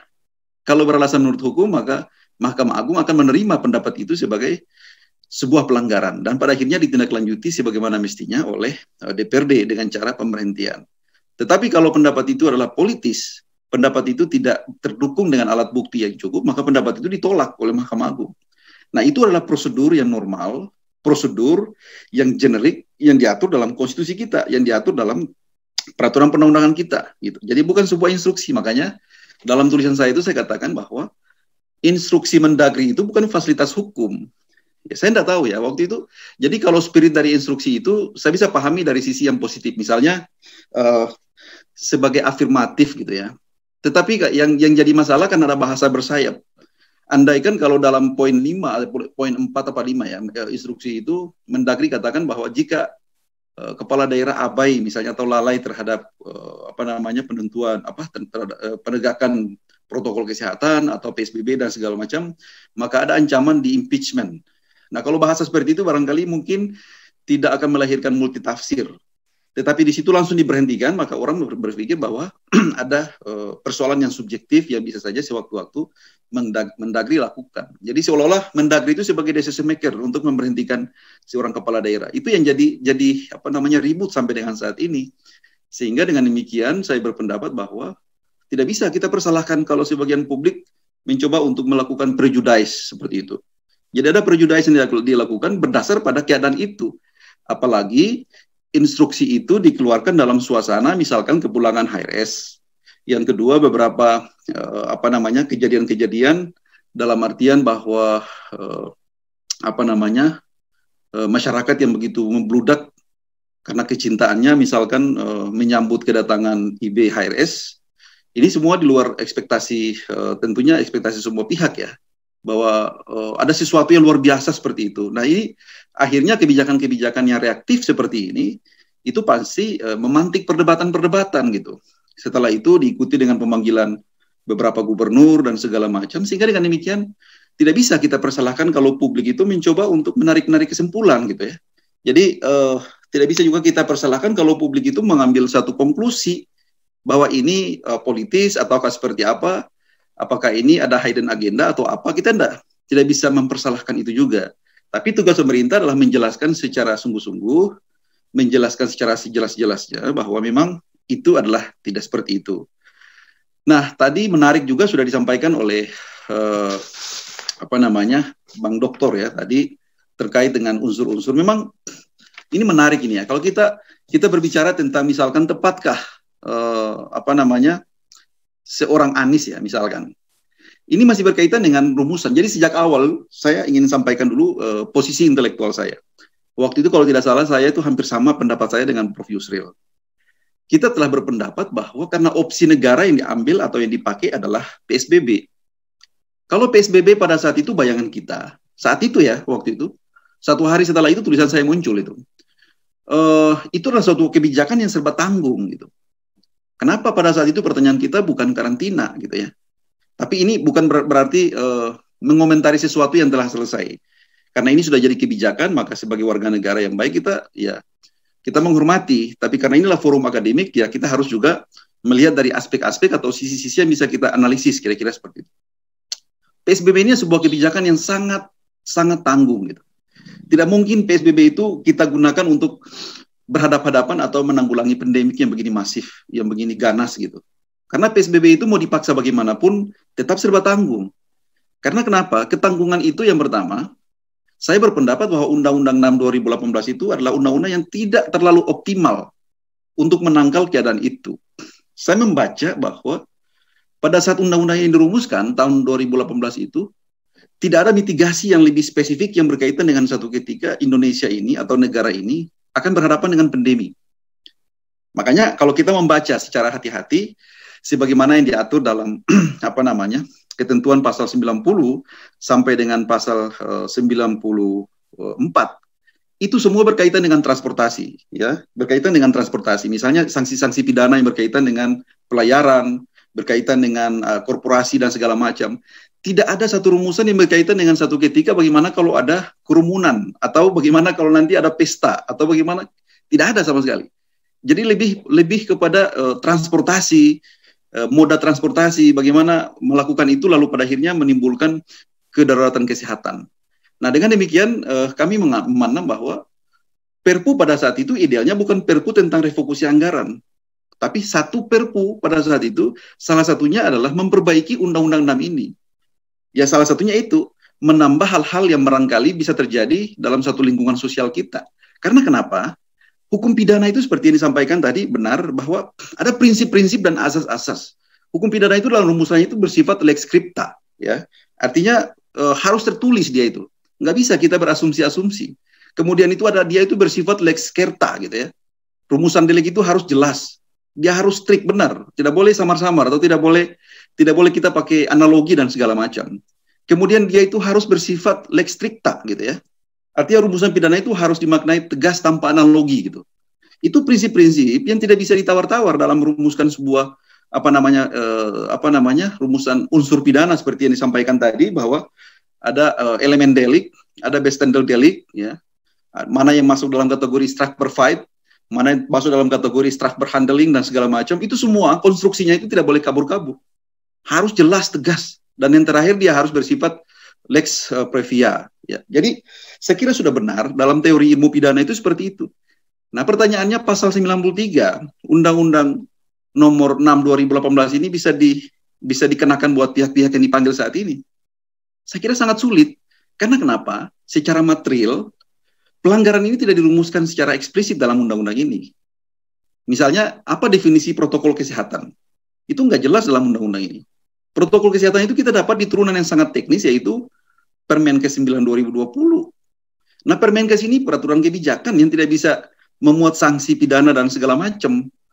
Lalu dalam rumusan rumusan delik itu tidak bisa kita meminjam aturan teknis seperti itu untuk di diangkat menjadi satu rumusan pidana itu nggak bisa.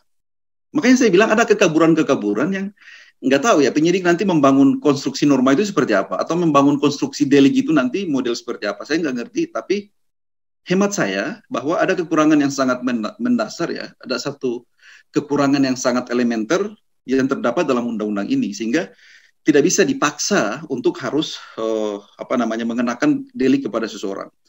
Lain soal atau lain cerita kalau kemarin itu yang diberlakukan adalah karantina gitu ya. dengan segala tindak, eh, tingkatan itu dari wilayah eh, rumah sampai dengan rumah sakit. Mungkin itu sedikit strict ya. Tapi kalau PSBB serba tanggung. Kebijakan apa pun tetap serba tanggung. Tidak mungkin kita paksakan dengan pidana. Mungkin yang paling banter adalah denda.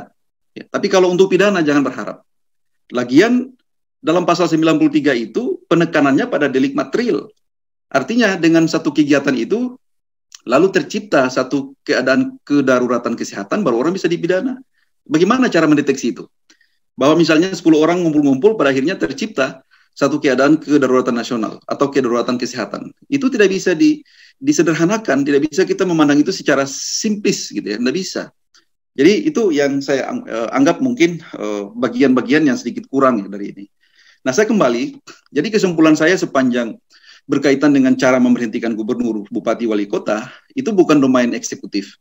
Tapi itu adalah domain uh, melibatkan dua lembaga sekaligus, yaitu parlemen dalam hal ini DPRD dan kekuasaan yudisial. Artinya finalnya itu ada pada keputusan Mahkamah Agung. Dan setelah itu baru pemerintah cuman hanya mengeksekusi dalam artian membuat pengesahan. Jadi basicingnya dikeluarkan dalam rangka meresmikan atau uh, mengesahkan saja, dia tidak dalam posisi decision maker. Itu yang berkaitan dengan itu. Yang kedua tentang posisi TNI. uh, eh, saya kemarin memang berpendapat bahwa jangan kita mendowngrade TNI itu ke level teknis lembaga lain ya, apalagi urusan menertibkan baliho itu kan organnya organ perda sebenarnya, bukan organ undang-undang. Jadi saya bilang kesian TNI kita. TNI ini kan sebagai uh, satu apa namanya dia ini sebagai sebuah aset nasional ya dia ini sebuah sebagai suatu sesuatu yang sangat strategis lah tidak bisa tidak boleh secara serta merta itu kita sederhanakan kayak gitu tidak ada yang berkaitan dengan urusan pertahanan keamanan gitu urusan pertahanan gitu ya tadi juga sudah jelaskan sudah disinggung tadi oleh eh, apa namanya ban doktor tadi bahwa apa namanya ada operasi operasi itu bersifat perang dan non perang ya nah kalau non perang itu non kombatan itu benar juga ada tapi diatur secara limitatif dalam Undang-Undang 34 tahun 2004. Jadi atur limitatif. Itu juga pun soal-soal yang strategis. Misalkan soal bencana untuk kepentingan SARS, ya, untuk kepentingan itu yang seperti itu. Jadi tidak bisa dengan secara bebas kita membawa mereka ke ranah-ranah yang lain, apalagi dalam konteks mobilisasi gitu. Karena mobilisasi pasukan itu itu memang sepenuhnya tunduk pada pada otoritas sipil tunduk kepada keputusan presiden dan DPR melalui persetujuan rakyat juga. Ya sama model ini sama seperti di Amerika Serikat. Ketika misalkan Donald Trump ajukan proposal untuk mengirim pasukan kepada satu negara melakukan invasi atau apa saja yang berkaitan dengan melibatkan militer itu harus mendapatkan persetujuan dari Kongres. Ya, itu modelnya sama karena model demo, e, negara-negara demokrasi itu doktrin ajarannya itu sama. Gitu. Jadi tidak bisa tentara itu digunakan secara bebas itu sudah menjadi ada ajaran hukum internasional dalam doktrin-doktrin hukum internasional itu mengatur tentang itu penggunaan kekuatan bersenjata jadi tidak bisa sembarang dan tidak bisa semena-mena ya seperti itu ya jadi uh, saya melihat bahwa memang ada sesuatu yang kebablasan uh, ada tergelincir saya lihat bahwa Pangdam ini agak tergelincir ya dalam dalam memaknai situasi Jakarta pada saat ini saya tidak tahu motifnya seperti apa tapi uh, dari sisi konstitusi saja itu sudah keliru Kenapa sampai TNI dan Polri itu dimasukkan dalam pasal Undang-Undang Dasar? Makanya saya sebut sebagai organ konstitusional. Karena saking pentingnya peran mereka. Gitu. Saking pentingnya peran mereka itu jangan jangan dijadikan sebagai alat kekuasaan. Dia itu pun kalau menurut Sudirman, Jenderal Sudirman, politiknya TNI adalah politik negara. Jadi bukan politik kelompok, bukan politik partai, tapi politik negara sesungguhnya. Makanya eh, eksistensi dari kedudukan apa namanya angkatan perang itu itu tidak gampang. Urusan mobilisasi pasukan dan segala macam tidak boleh sewenang-wenang di bawah seorang panglima. Itu nggak boleh. Sangat-sangat berbahaya. Jadi saya kira untuk urusan itu sangat jelas bahwa penggunaan militer atau penggunaan uh, tentara dalam menertib, menertibkan uh, apa namanya baliho itu sesuatu yang sangat uh, di luar konteks dan kewenangannya. Saya anggap itu sebuah sebuah penyalahgunaan wewenang sebenarnya. Kalau dalam teori hukum administrasi itu satu satu satu keputusan yang melanggar uh, hukum ya. Tapi saya kira makanya saya minta kepada Menteri Pertahanan, kemudian juga kepada Menko Polhukam Pak Mahfud MD, dalam tulisan saya saya minta untuk untuk ditertibkan gitu kan. Jangan diam-diam saja atau jangan melihat itu sebagai sebuah orkestrasi kekuatan atau apa namanya semacam peacekeeping force gitu dan segala macam itu bukan etalasi yang yang enak dinonton lah kira-kira seperti karena kita adalah sebuah negara demokrasi terbesar dan kita sudah mengalami fase itu. Ini tidak bisa kita lepaskan dari konteks paradigma TNI ini dibangun dari masa lalu sebenarnya. Karena kita ini kan pernah mengalami keadaan itu dari mulai tahun 65 eh, sampai dengan selesai reformasi kita mengalami keadaan itu sehingga banyak pengalaman empirik yang membentuk uh, apa namanya cara kita memandang dan mendudukan komponen pertahanan ini dalam struktur ketatanegaraan kita. Itu tidak terlepas dari situasi dan perkembangan sejarah kita dalam apa namanya melihat kedudukan tentara ya. Jadi uh, bukan berarti takut tapi memang ada kehati-hatian dan ini juga sejalan dengan doktrin internasional ya tentang penggunaan kekuatan militer. Apalagi yang sifatnya non kombatan seperti itu. Kalau kombatan jelas uh, arahnya jelas, musuhnya jelas dan segala macam. Tapi non kombatan ini jangan sampai menjadi abuse ya. Jadi itu kita kita tidak mau yang seperti itu. Saya kira mungkin uh, tidak perlu saya bicara panjang ya karena sudah disampaikan juga banyak hal sama Prof. Suteki tadi, kemudian Bapak Doktor sebelumnya juga sudah banyak memberikan pikiran-pikirannya. Itu yang bisa saya sampaikan. Eh, Dinda Asrullah, terima kasih. Bila taufik wal hidayah. Assalamualaikum warahmatullahi wabarakatuh. Waalaikumsalam warahmatullahi wabarakatuh. Jazakumullah khairan ahsanul jaza atas anotasi ide-ide dengan dua hal, satu tentang kedudukan instruksi Mendagri dalam sekuen kebijakan yang diambil, kemudian yang kedua berkenaan dengan TNI dalam perspektif ketatanegaraan. Berikutnya kita masuk ke sesi tanya jawab pada seluruh peserta. Bagi yang ingin bertanya silakan raise hand di uh, Zoom untuk kita Eh, berikan kesempatan bagi peserta yang ingin dialog secara langsung dengan pemateri menyampaikan pertanyaan atau tanggapannya. Silahkan raise hand. Ya, ada Dr. Haji Darwis Muhdina. Ya, sepertinya beliau ingin bertanya. Iya. Ya, makasih Pak. Silakan. Assalamualaikum. Ya, Assalamualaikum warahmatullahi wabarakatuh. Waalaikumsalam warahmatullahi wabarakatuh. Saya dari Makassar, Darwis Muhdina. Tiga penanya saya kira sangat menarik terkait penurunan atau kasus penurunan baliho Habib Rizik.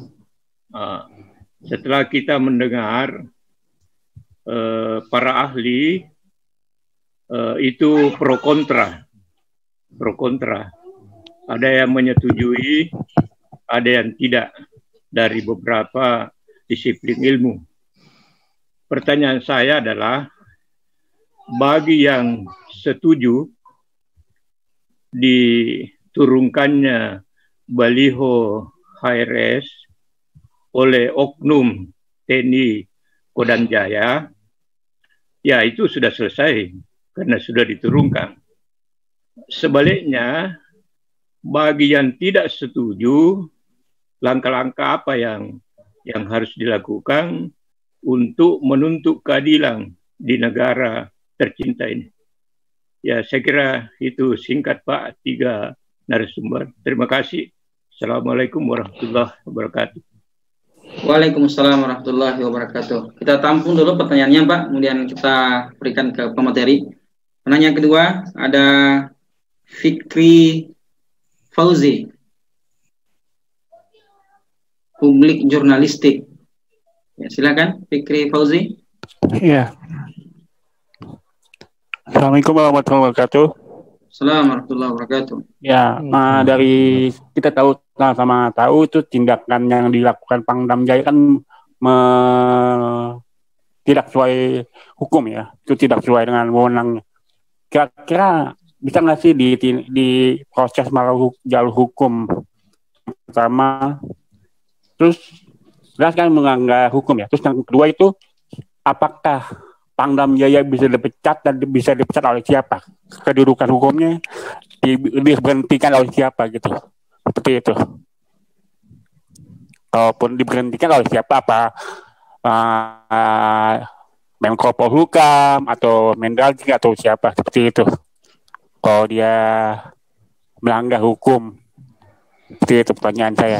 Ya, terima kasih. Assalamualaikum warahmatullahi wabarakatuh. Waalaikumsalam warahmatullahi wabarakatuh. Terakhir dari Pak Muhasir MPD. Silakan Pak Muhasir. Bisa masuk. Iya, silakan. Waalaikumsalam warahmatullahi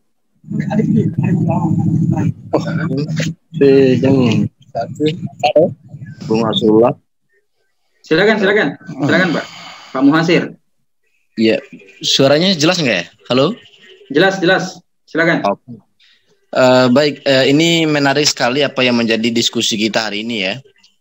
Uh, dari Anies dipanggil klarifikasi, terus hingga TNI turunkan baliho. Ini memang uh, sebuah uh, kalimat yang bisa membawa uh, kebangsaan kita ini uh, tidak taat hukum dan apa kayak anggapan lain itu karena memang uh, gubernur DKI Jakarta kan sudah uh, apa namanya menerapkan pembatasan sosial berskala besar itu kan di masa awal sampai saat ini masih gitu.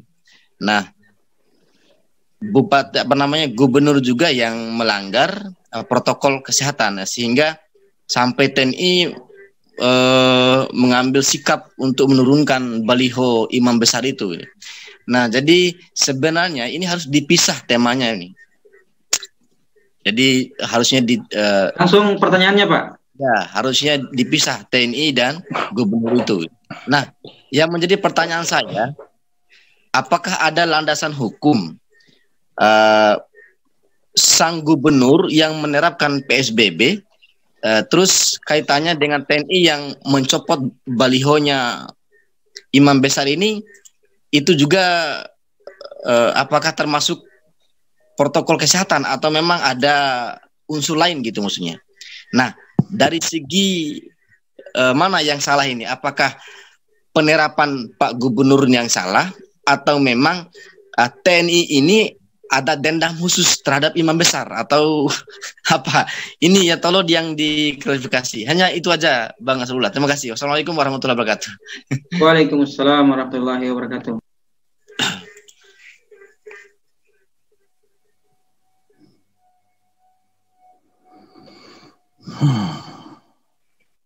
Ada tiga pertanyaan, Prof, yang siap untuk dijawab. Kita ke Prof. Seteki dulu untuk tiga penanya tadi. Kemudian ya. kita ke Bang Hoir dan ke Pak Fahri Bahmid. Silakan, Prof. Baik, terima kasih. Ini nanti ahlinya kan uh, Mas uh, seperti Mas Fahri ya mestinya. Ya. Tapi saya coba ingin menjawab lebih dulu. Uh, kemudian mengenai yang tidak setuju ya, yang menolak itu ya. Saya mungkin bisa dihubungkan dengan aspek tun ya, tata usaha negara. Kalau tidak salah, saya pernah membaca undang-undang tentang administrasi negara itu, jadi kebijakan ya tidak harus berupa surat. Kebijakan itu juga bisa menjadi objek untuk digugat ke tata usaha negara. Nah, ini kalau ada yang merasa dirugikan, tapi kan syaratnya begitu, harus ada yang merasa dirugikan dengan kebijakan itu. Taruhlah misalnya eh, dari sisi FPI umpama ya atau umat Islam atau kelompok yang lain. Kalau itu ada yang merasa dirugikan dari kebijakan cuma omongan saja, nggak usah pakai surat itu, nggak usah ada SK, tapi omongan saja itu bisa digugat di tata usaha negara. Ini setahu saya begitu karena beberapa waktu lalu kan saya Mas Fahri kan tahu kan saya jadi eh, apa ya bukan pesakitan tapi pihak yang menggugatkan juga jadi untuk belajar tuh agak sedikit-sedikit saya itu tahu kemarin. Nah ini tidak harus berupa keputusan tapi cuma kebijakan saja melalui omongan saja yang tercatat itu saya kira bisa dijadikan objek untuk sengketa tata usaha negara. Nah itu. Kemudian kalau Mas uh, Fikri tadi, saya kira Uh, ya prinsipnya kan tadi Mas Fahri sudah bilang ini kalau dalam tata usaha negara ya aktus uh, contrarius actus ya siapa yang mengeluarkan SK itu maka dia yang berhak untuk mencabut. Nah sekarang yang mengangkat eh, Pangdam itu siapa? Ya, setahu saya Panglima. Nanti Mas Fahri tolong dikoreksi itu. Kalau Panglima TNI itu yang mengangkat berarti ya yang bisa memecat itu ya Panglima TNI. Kemudian untuk Mas Muhasir tadi, eh, saya kira ya tidak ada hubungan langsung ya antara PS eh, penerapan PSBB dengan pencabutan baliho itu tidak ada hubungan langsung. Kalau untuk penerapan PSBB jelas itu dasarnya ya Undang-Undang Nomor 6 Tahun 2018 itu ya eh, karena saya masih tetap berprinsip begini jadi undang-undang itu kan mengatur tentang kekarantinaan kesehatan nah setelah ada kekarantinaan maksudnya undang-undang ini lalu menginstruksikan kepada presiden ya betul ya pada presiden untuk membuat keputusan presiden untuk membuat namanya situasi kedaruratan kesehatan. Nah, untuk merespon adanya kedaruratan kesehatan inilah yang kemudian salah satu dipakai cara namanya PSBB. Selain dipakai juga karantina. Ya dan lain-lain lah itu di pasal 15 itu jelas sekali. Jadi hmm. dalam pemahaman saya PSBB itu merupakan salah satu cara untuk melaksanakan tindakan kekarantinaan kesehatan. Nah, yang tadi saya katakan, kenapa kok ini pasal 93 kemudian tidak bisa dijalankan dengan baik atau tidak bisa ditegakkan? Karena ketentuan PSBB tidak jelas diatur, ya misalnya ada delik yang mengaturnya tentang kerumunan, tentang jaga jarak, tentang ini macam-macam, nggak diatur secara tegas di undang-undang ini. Nah, persoalannya di situ. Maka saya tadi katakan ketika itu tidak jelas, kemudian ada kekosongan dan tidak ramah pada uh, social atmosphere, saya katakan begitu, itu ada dari sisi teori ada namanya non uh, policy of non enforcement of law. Jadi kebijakan untuk tidak menegakkan hukum. Ini tadi saya sampaikan Mas Fahri itu pidato pengukuhan saya waktu saya jadi guru besar di tahun 2010. Ya sementara dari saya itu terima kasih.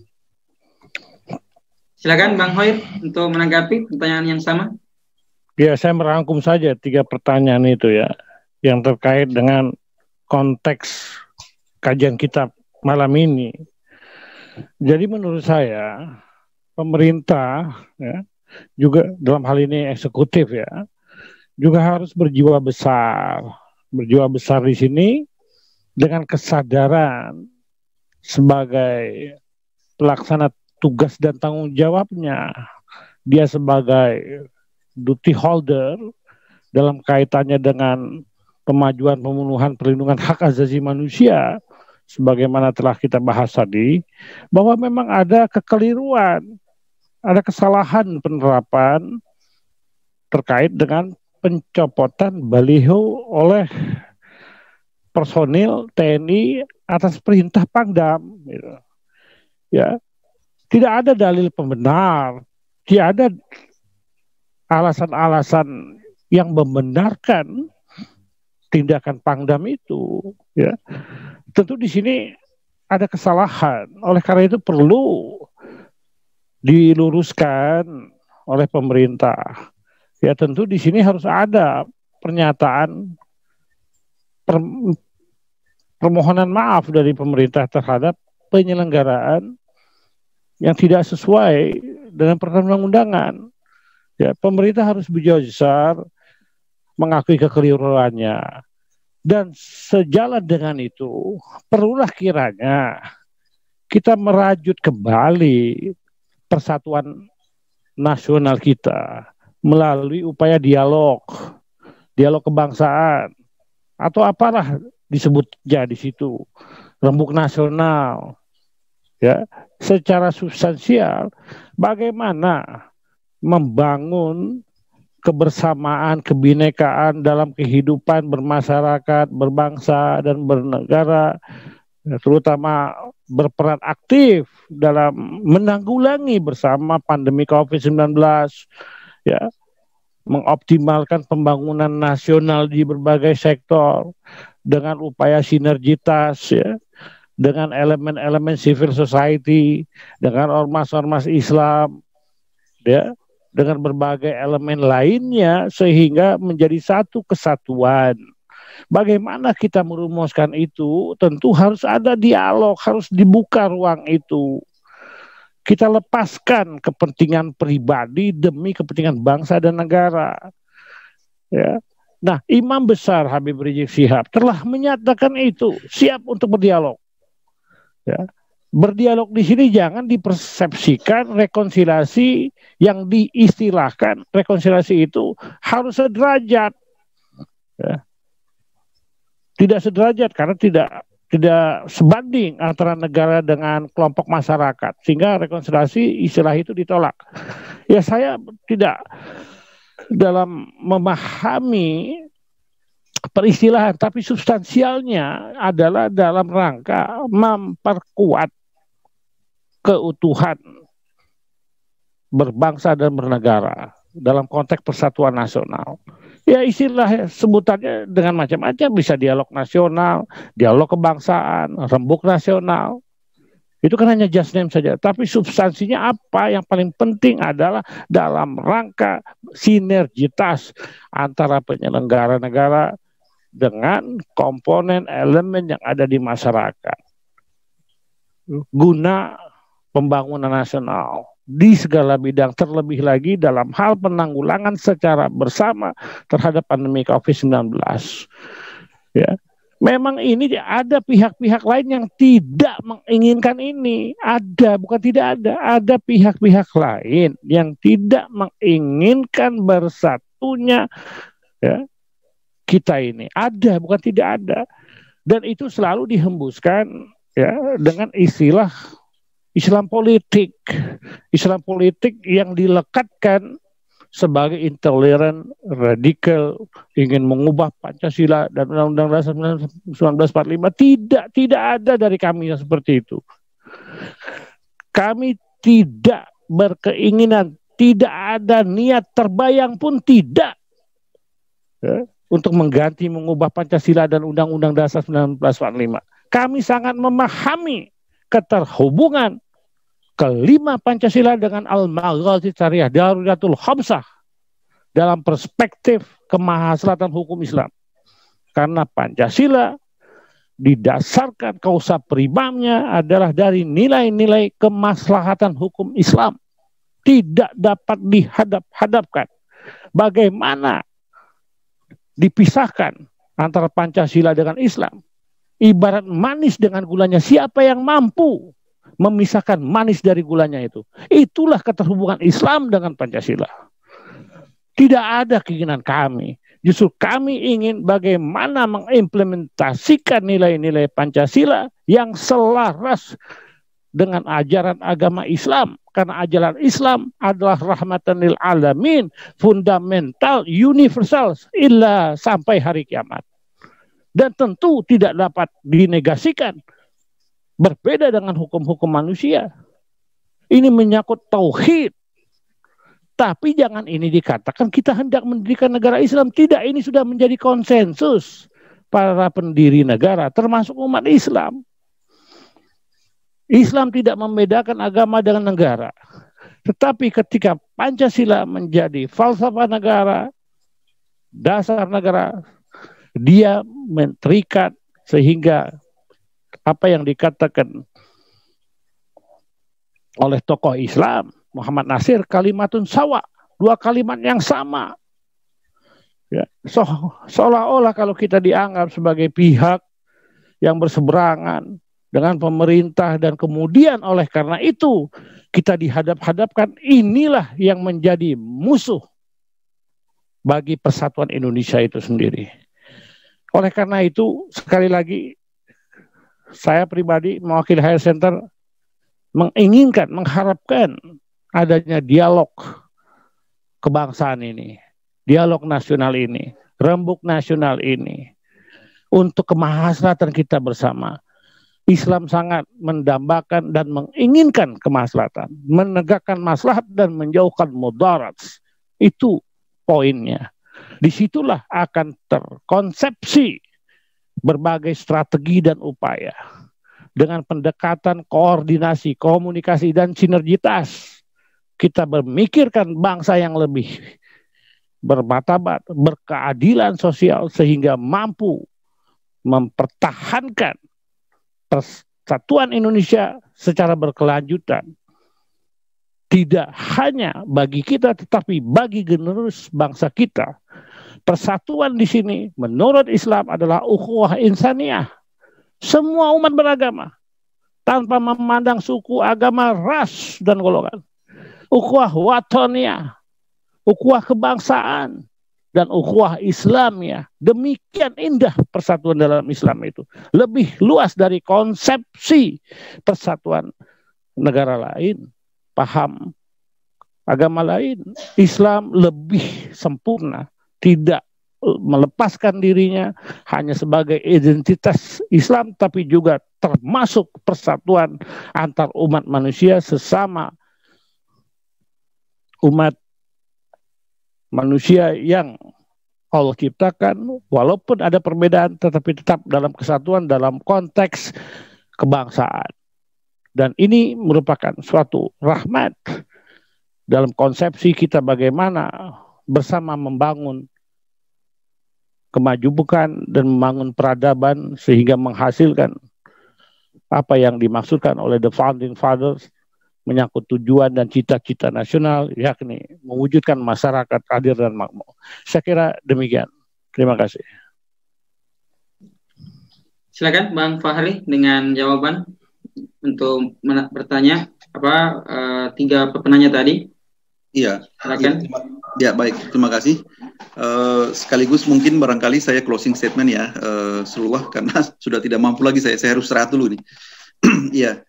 uh, tadi sudah disampaikan juga oleh apa namanya uh, yang amal terpelajar Prof Suteki, kemudian Pak Abdul Khalil juga tadi sudah banyak menyampaikan hal-hal yang sebenarnya ingin juga saya sampaikan. Tapi saya menyoroti cuma beberapa hal saja. Yang pertama tadi juga sudah terjawab bahwa objek tun ya. Objek tun itu memang dalam rumusan Kamar Tata Usaha Negara, Mahkamah Agung itu sudah diperluas. Jadi selain uh, telah diatur dalam Undang-Undang 30 2014 tentang administrasi pemerintahan memang juga dalam rumusan Kamar Tata Usaha Negara ya kan itu juga sudah memperluas. Jadi bukan saja keputusan tertulis tapi tindakan aktual saja tindakan aktual saja sudah menjadi objektum objektum litis untuk uh, setiap orang atau badan hukum mempersoalkannya ke pengadilan. Jadi saya setuju yang disampaikan oleh Prof tadi itu benar adanya. Bahwa uh, jadi jangan jangan kita menunggu jangan sampai ada SK dulu dalam bentuk bisiking baru nanti kita jadikan sebagai uh, apa namanya objektum litisnya, tapi tindakan perbuatan administratif, tindakan aktualnya saja orang sudah bisa di-challenge ke pengadilan. Jadi uh, itulah prinsip negara hukum kita. Jadi betapa hukum itu melindungi hak-hak atau prinsip-prinsip hak asasi manusia itu luar biasa, sangat fundamental gitu ya. Jadi jangan kita menunggu dulu ada keputusan atau dalam bentuk-bentuk yang administratif, tapi perbuatan saja sepanjang dia itu adresatnya adalah seorang pejabat itu sudah bisa digugat ke pengadilan. Itu yang pertama. Yang kedua, uh, siapa yang berwenang untuk memecat uh, Pangdam? Ya memang Panglima ya. Jadi kalau dalam struktur hierarkis uh, organisasi TNI itu memang yang mengangkat Panglima, Pangdam dalam hal ini adalah Panglima TNI tentunya. Uh, tapi dalam hal-hal tertentu, kalau tradisi di Indonesia itu kan kalau saya kasih contoh misalkan yang kemarin itu dua Kapolda dicopot secara bersamaan, pertanyaannya apakah itu kehendak Kapolri gitu? Jadi dalam tradisi kita bernegara ini kan bisa saja karena tersinggungnya uh, pemerintah misalnya atau yang lebih di atas lagi dari dari Pangdam atau dari Panglima bisa saja memerintahkan tapi tentunya lewat lewat tangan struktural yang ada pada Panglima Panglima TNI atau Kapolri tentunya. Jadi memang Kapolri dan uh, Panglima TNI punya wewenang untuk itu ya mengangkat dan memberhentikan. Apalagi yang saya bilang tadi atau disampaikan oleh Prof Suteki tadi bahwa uh, ada prinsip atau azas uh, akan terakhir kontradiktif aktus ya. Jadi siapa yang mengangkat dia memberhentikan dengan alasan-alasan hukum sepanjang itu dibenarkan. Yang terakhir begini, uh, tadi juga pandangan yang sangat holistik ya yang sudah disampaikan oleh uh, Pak Abdul Khair tadi, betul. Ada pesan-pesan substantif yang sebenarnya kita harus underline ya. Bahwa persoalan ini jangan kita lihat pada aspek akrobat penegakan hukum saat ini saja. Misalnya siapa yang dipanggil dalam rangka apa dan bagaimana. Memang sangat teknis kalau menurut saya itu kecil sekali sebenarnya. Apalagi eh, apa namanya sesuatu yang mau dipaksa-paksa ya. Kalaupun itu nanti yang dipaksakan tentunya juga tidak jalan gitu ya. Mungkin dugaan saya kesimpulan nanti dari hasil gelar perkara ini adalah perkara tidak bisa ditingkatkan ke tingkat penyidikan. Saya punya keyakinan itu. Karena memang rumusan dan konstruksi delik ini memang sangat sulit untuk kita apa namanya mau operasikan ya, mau operasionalkan nanti dalam bentuk yang lebih jauh gitu ya. Saya tidak tahu ramuannya seperti apa. Kalau secara hukum itu saya juga selain sebagai akademisi adalah sebagai seorang advokat agak sulit rasa-rasanya kalau mau melihat konstruksi yang agak agak abstrak seperti ini. Jadi tidak mungkin jalan ini perkara. Tetapi begini, pesan-pesan moral yang yang harus diutamakan dalam soal-soal seperti ini adalah eh, apa namanya kita harus memang arif ya dalam memandang sesuatu. Tadi tadi malam saya ikuti uh, debat di ILC itu cukup mendidik, cukup bagus, cukup edukatif lah.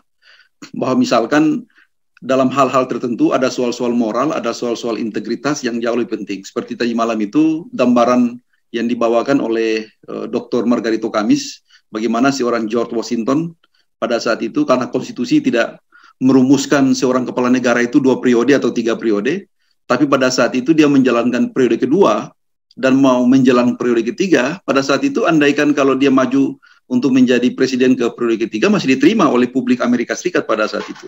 Tapi apa yang dia katakan bahwa kalau andaikan saya maju hari ini menjadi presiden Amerika Serikat yang ketiga kalinya, maka 100 tahun yang akan datang presiden-presiden berikutnya juga akan mau hal yang sama tentunya seperti itu. Ada pesan moral dan pesan negarawan yang ingin disampaikan bahwa memang dalam melaksanakan mengoperasikan sistem hukum itu sebenarnya ada potensi moral yang sebenarnya potensi integritas yang harus kita kedepankan. Kita tidak bisa saja cuman hanya apa namanya bersilat pada soal-soal teknikal penerapan norma. Kita cuma melihat bahwa ini bisa dikenakan kepada siapa, ini bisa dijerat dengan apa. Tapi jauh daripada itu adalah bagaimana mengoperasikan satu perangkat hukum itu secara bertanggung jawab, secara bijaksana, secara dengan penuh kearifan dan kehati-hatian. Jadi sebenarnya itu yang yang dapat saya uh, sampaikan bahwa memang kearifan itu penting, kenegarawanan itu penting, kira-kira seperti itu. Apakah memandang fenomena uh, high risk saat ini adalah sesuatu yang sangat an potensi ancamannya cukup tinggi ataukah bagaimana gitu. Makanya tidak salah kalau publik membanding-bandingkan. Bagaimana dengan OPM misalkan di Papua? Ya kan begitu. Bagaimana dengan organisasi bersenjata atau perlawanan-perlawanan eh, kelompok-kelompok bersenjata yang melawan uh, pemerintah NKRI dan segala macam itu bagaimana gitu. Nah, itu jadi pada akhirnya rakyat menjadi terciptanya suatu suasana segregasi sosial uh, dengan mendikotomiskan masalah ini dengan perspektif yang berbeda gitu. Jadi ini tentunya sangat menguras energi energi kita sebagai sebuah bangsa. Makanya saya katakan ini sangat destruktif sebenarnya ya. Kalau kita masih tetap di mendebatkan sesuatu yang atau soal-soal yang seperti ini karena uh, seolah-olah kita itu ketinggalan kereta gitu kan masih saling menjerat, masih saling menyakiti, masih saling berpikir saling curiga antara anak bangsa satu dengan yang lain. Pada akhirnya uh, debat kita masih soal-soal uh, prasangka dan prubasangka gitu ya. Nah, jadi ini harus uh, kebijaksanaan wisdom yang harus dikedepankan uh, berpikir yang lebih holistik lah untuk mengelola bangsa dan negara ini. Saya kira supaya uh, tidak lagi semua tokoh atau tidak lagi setiap orang itu di, dihadap-hadapkan dengan APH ya aparat penegak hukum dan segala macam gitu kan. Pada akhirnya habis energi kita. Seperti kemarin Anies diperiksa 9 jam, kemudian siapa lagi uh, Gubernur Jawa Barat diperiksa 7 jam dan segala macam. Untuk soal-soal yang seperti itu pada akhirnya habis energi bangsa kita untuk mengurus hal-hal yang seperti itu. Itu yang saya ingin katakan. Jadi uh, baiknya lebih bijaksana untuk melihat soal-soal seperti ini. Saya kira mungkin itu yang dapat saya uh, kemukakan, saya sampaikan pada saat ini. Mohon maaf, uh, Prof. Suteki, saya sudah menyampaikan pikiran-pikiran ini. Kemudian uh, Bang Dr. Abdul Khair, terima kasih banyak juga atas pencerahannya. Saya mohon maaf karena kondisi saya kurang sehat banget, jadi ya. saya duluan, Prof. Jaga kesehatan, Bang. Ya, ya makasih banyak. Ya, terima kasih ya. Assalamualaikum. Terima kasih, Pak. Waalaikumsalam warahmatullahi wabarakatuh.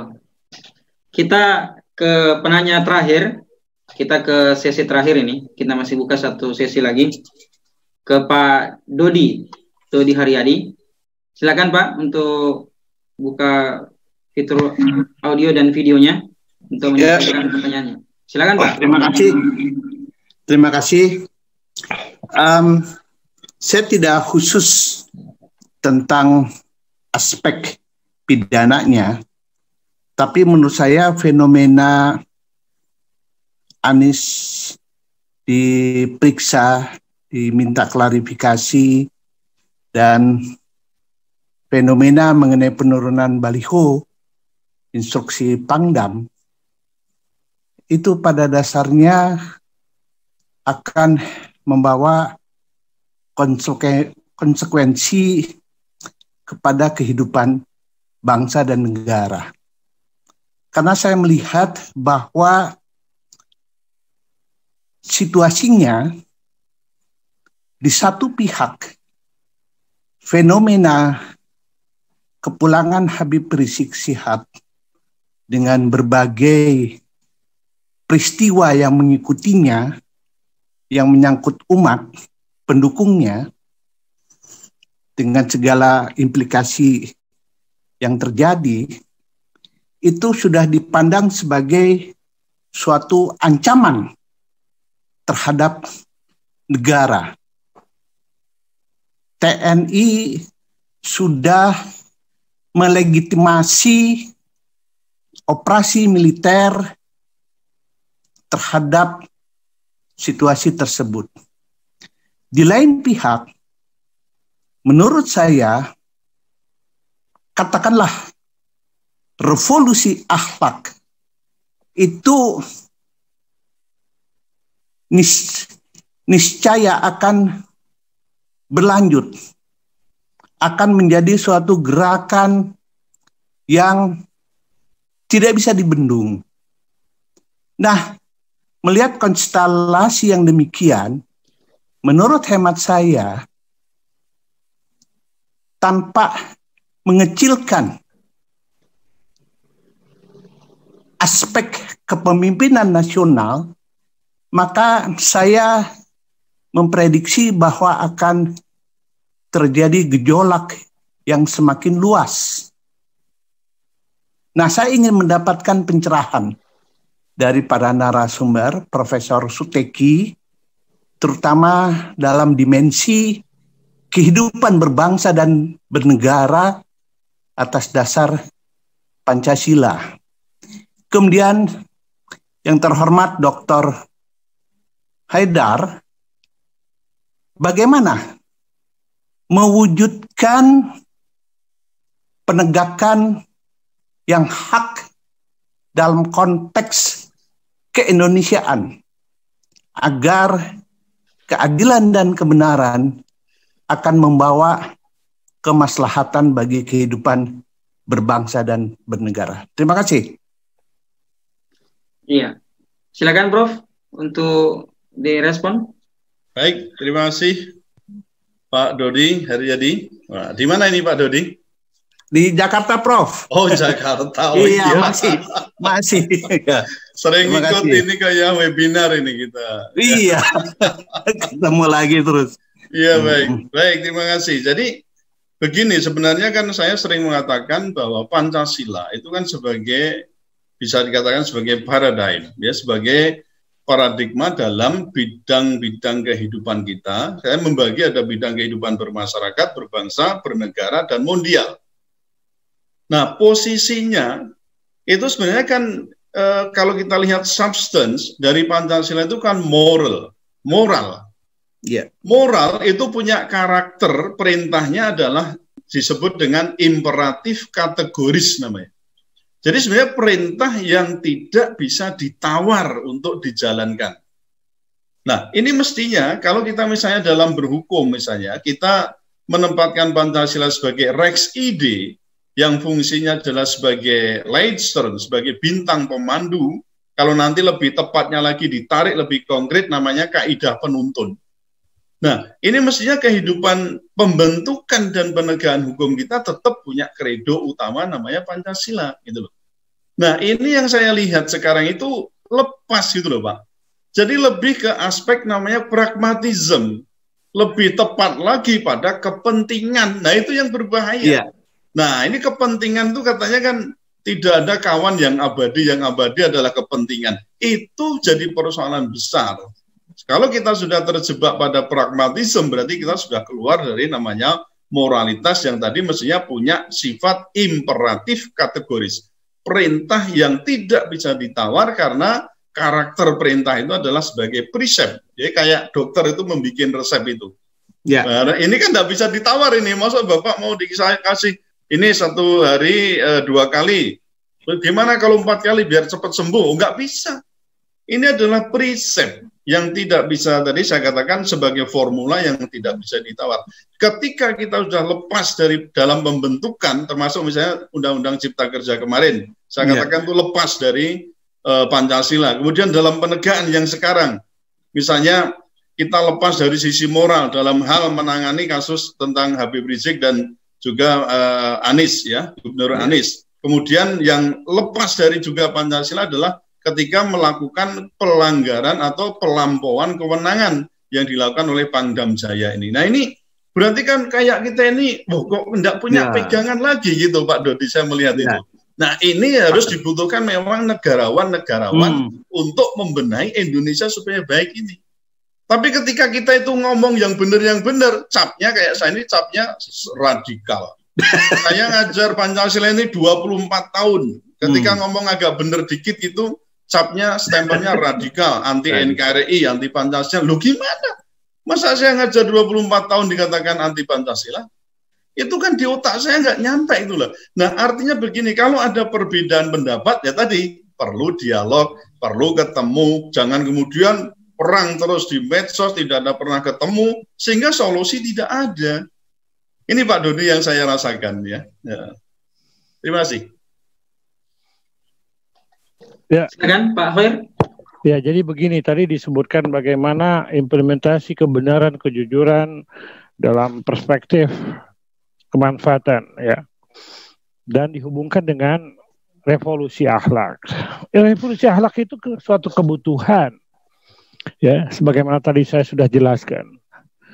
Nah, perlu saya jelaskan di sini. Ini menurut pemahaman saya, revolusi akhlak itu bersendikan tiga. Pertama dia menuju kepada individu-individu umat Islam ya pada khususnya. Ya, bagaimana dia berhubungan dengan Allah, hablum minallah dan bagaimana dia berhubungan dengan manusia dan lingkungan ya secara luas dengan hewan, dengan tumbuhan dan alam sekitar. Itu hablum minanas. Nah, terus akhlak juga terkait dengan peranan alim ulama dalam hal dakwah, amar ma'ruf nahi munkar. Akhlak juga menunjuk kepada peranan pemimpin nasional. Ya.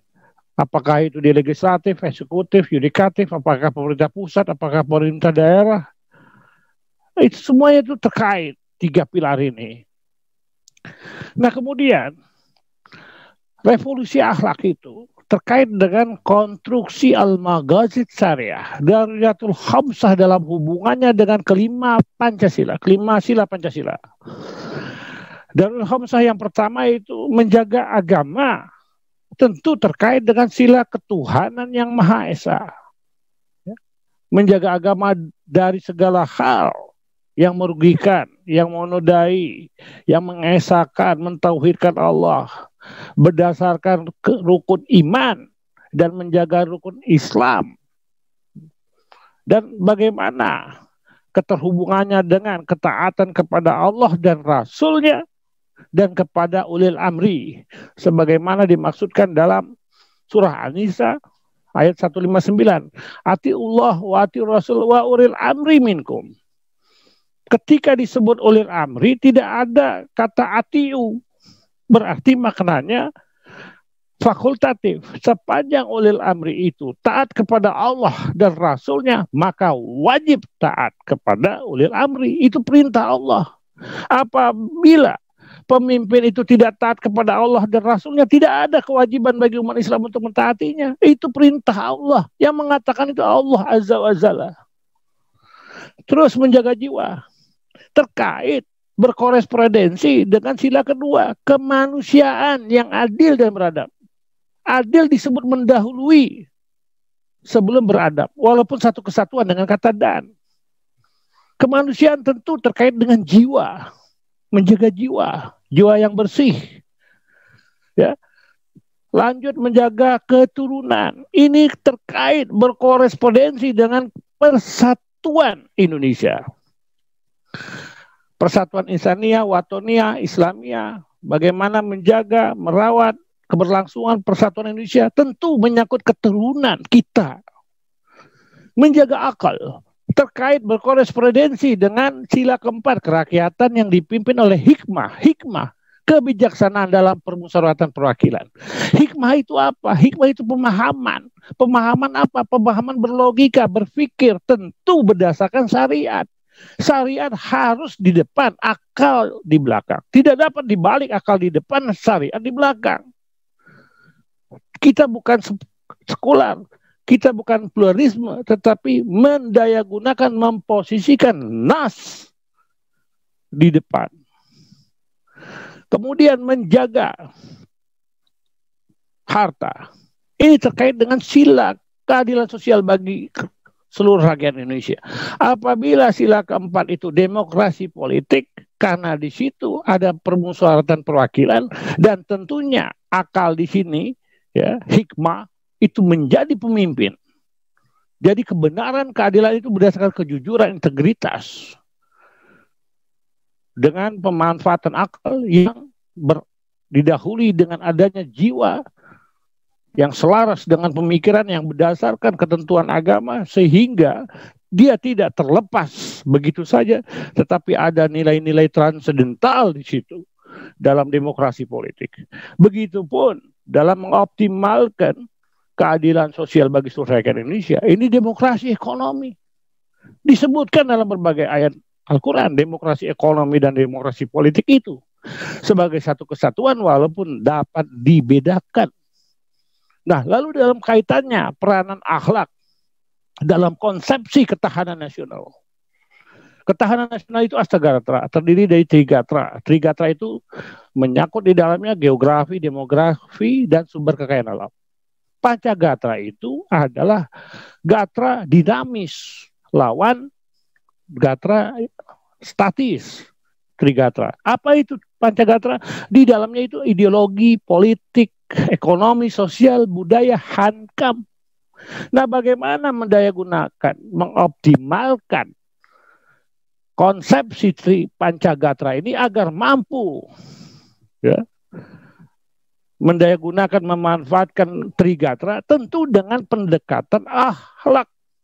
Ini juga terkait dengan peranan dari pemimpin nasional sehingga revolusi akhlak itu adalah sebagai jati diri kita dalam rangka apa? Dalam rangka menginternalisasikan, mengimplementasikan nilai-nilai Pancasila yang sesuai dengan Dariyatul Khamsa Al-Maghazi Syariah dalam rangka mewujudkan ketahanan nasional Apabila ketahanan nasional itu kuat dan optimal, maka tujuan dan cita-cita nasional itu akan tercapai.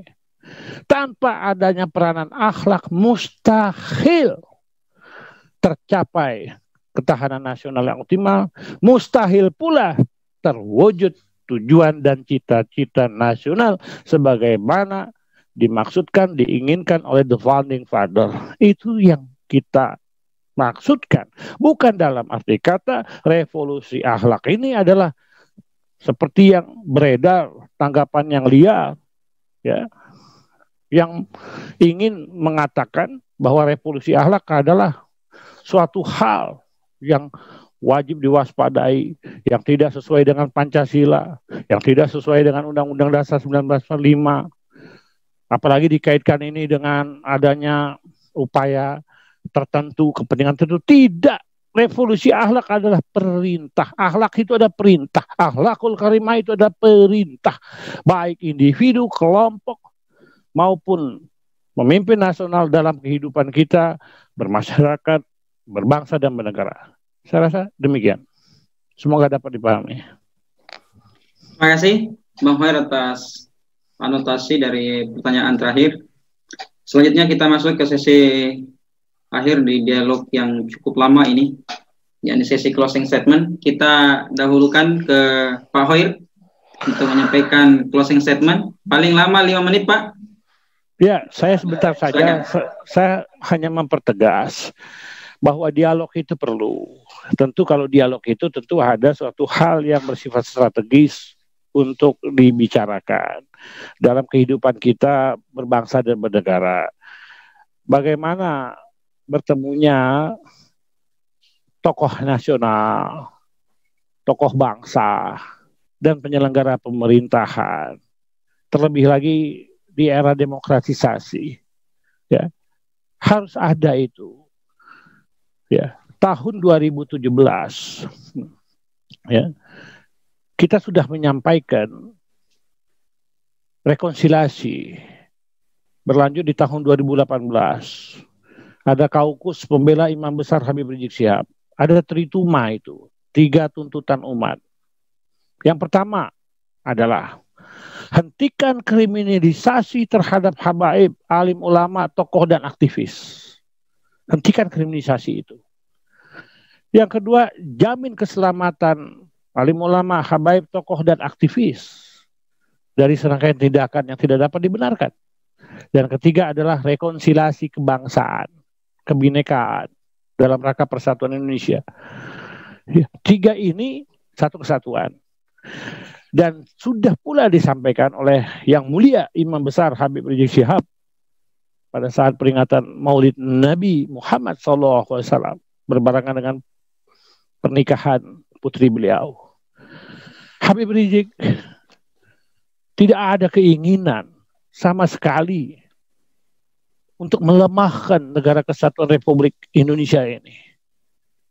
Untuk merubah Pancasila dan Undang-Undang Dasar 1945 Beliau sangat mencintai NKRI ini. Beliau sangat memahami Pancasila. Silahkan dibaca tesis beliau. Kitab Pancasila itu dan keterhubungannya dengan syariat Islam pada Universitas Sains Islam Malaya. Dan saya sangat memahami apa yang ditulis oleh beliau, apa yang diperjuangkan oleh beliau, sehingga adalah tuduhan yang keji. Ya. Yang men mendeskripsikan beliau yang ingin menjatuhkan beliau. Beliau adalah zuriatul Rasul. Keturunan Nabi Muhammad sallallahu alaihi dan beliau adalah pejuang. Beliau tidak melakukan perbuatan hukum yang merugikan bangsa ini. Justru menginginkan bangsa dan negara ini ke arah maslahat menjauhkan bangsa dan negara ini dari segala mudarat yang justru akan merugikan anak cucu kita kelak di kemudian hari. Itu yang beliau tidak inginkan. Beliau ingin menuju Indonesia kepada negeri baldatun thayyibatun walaupun kafir. Demikian. Wallahu a'lam bishawab. Selanjutnya kita berikan kesempatan ke Prof. Sutegi. Silakan, Prof. Baik, terima kasih Mas Asrul uh, dari apa yang kita bahas tadi sebenarnya menunjukkan uh, relasi yang kuat ya antara hukum dan politik. Ya. Jadi hukum dan politik itu berkelindan. Tetapi ketika kita sudah berkomitmen bahwa Indonesia itu adalah negara berdasar atas hukum, sebagaimana ada di pasal 1 ayat 3 Undang-Undang Dasar 1945, maka kita harus menempatkan hukum itu sebagai frame, sebagai bingkai, sebagai kerangka untuk menyelenggarakan kekuasaan negara. Ya, itu ya. Bukan sebaliknya. Politik itu mengangkangi hukum. Nah, ini kan kelihatan sekali ya. Jadi dua case yang kita bahas sekarang ini, baik untuk saya katakan kerumunan git dan baliho, baliho git ini adalah menunjukkan bahwa uh, politik itu mengangkangi hukum. Ya, ini yang kita seharusnya sangat menghindari dan sedapat mungkin, sebagaimana dikatakan oleh Ronald Dworkin itu, bagaimana kita membaca undang-undang itu juga dari sisi moral yang disebut dengan moral reading. Ya, karena kita punya Pancasila tadi, jadi ini hanya jangan jadikan cuma istilah orang Jawa itu abang-abang lambe gitu loh ya. Cuma lip service kita wah punya Pancasila tapi kalau prakteknya itu kita jauh dari Pancasila nah apa kita ini akan menjadi negara pecundang kalau begitu jadi kalau kita memang berprinsip bahwa Pancasila itu sebagai eh, kita misalnya di Undang-Undang Nomor 12 Tahun 2011 sudah dikatakan sebagai sumber dari segala sumber hukum negara. Ya kita pakai itu. Dan ketika kita sudah berkomitmen bahwa ayo patuh hukum, ayo patuh hukum, ya jangan malah melampaui kewenangan yang justru melanggar hukum gitu loh. Jadi kayak yang tadi kita contohkan bagaimana uh, uh, Pangdam kemudian melakukan ya memerintahkan TNI supaya mencopot baliho-baliho itu itu kan pelampauan kewenangan yang itu sebenarnya bukan ajakan untuk menegakkan hukum tapi sebaliknya melakukan abuse of power. Saya kira demikian Mas yang uh, closing statement saya. Semoga bermanfaat ya. Assalamualaikum warahmatullahi wabarakatuh. Salam untuk semuanya. Waalaikumsalam ya, warahmatullahi wabarakatuh. Bang, Terima kasih Prof. Bang, Bang Khair, ya. atas waktu yang diberikan pada malam hari ini. Tentu ada banyak kesibukan tetapi hadir dalam dialektika. Tentu temanya yang hangat, orang berani yang bisa hadir Prof ya, dan Bang Khair. Ini uh, satu uh, momen yang luar biasa di mana kita senantiasa merespon dalam kekalutan berbangsa hadir untuk memberikan solusi dan edukasi kepada masyarakat agar mampu menimbang dalam eksaminasi secara akademis juga tanpa memisahkan satu narasi agama dalam melihat objek yang ada. Ada satu ada dua hal yang uh, penting ditekankan di diskusi ini baik dari pemateri pertama, kedua dan ketiga. Yakni pertama uh, berkenaan dengan aspek penegakan hukum yang harus berkeadilan. Jadi salah satu kredo dan maksim hukum itu dan paling terkenal bagi yuris fiat justitia rakyat ruat caelum dan fiat justitia et pariat mundus.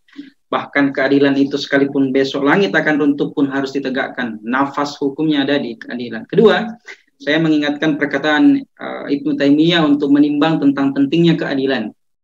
Beliau mengatakan dalam salah satu perkataannya, negeri yang adil sekalipun negeri itu muslim itu akan diangkat keberkahannya.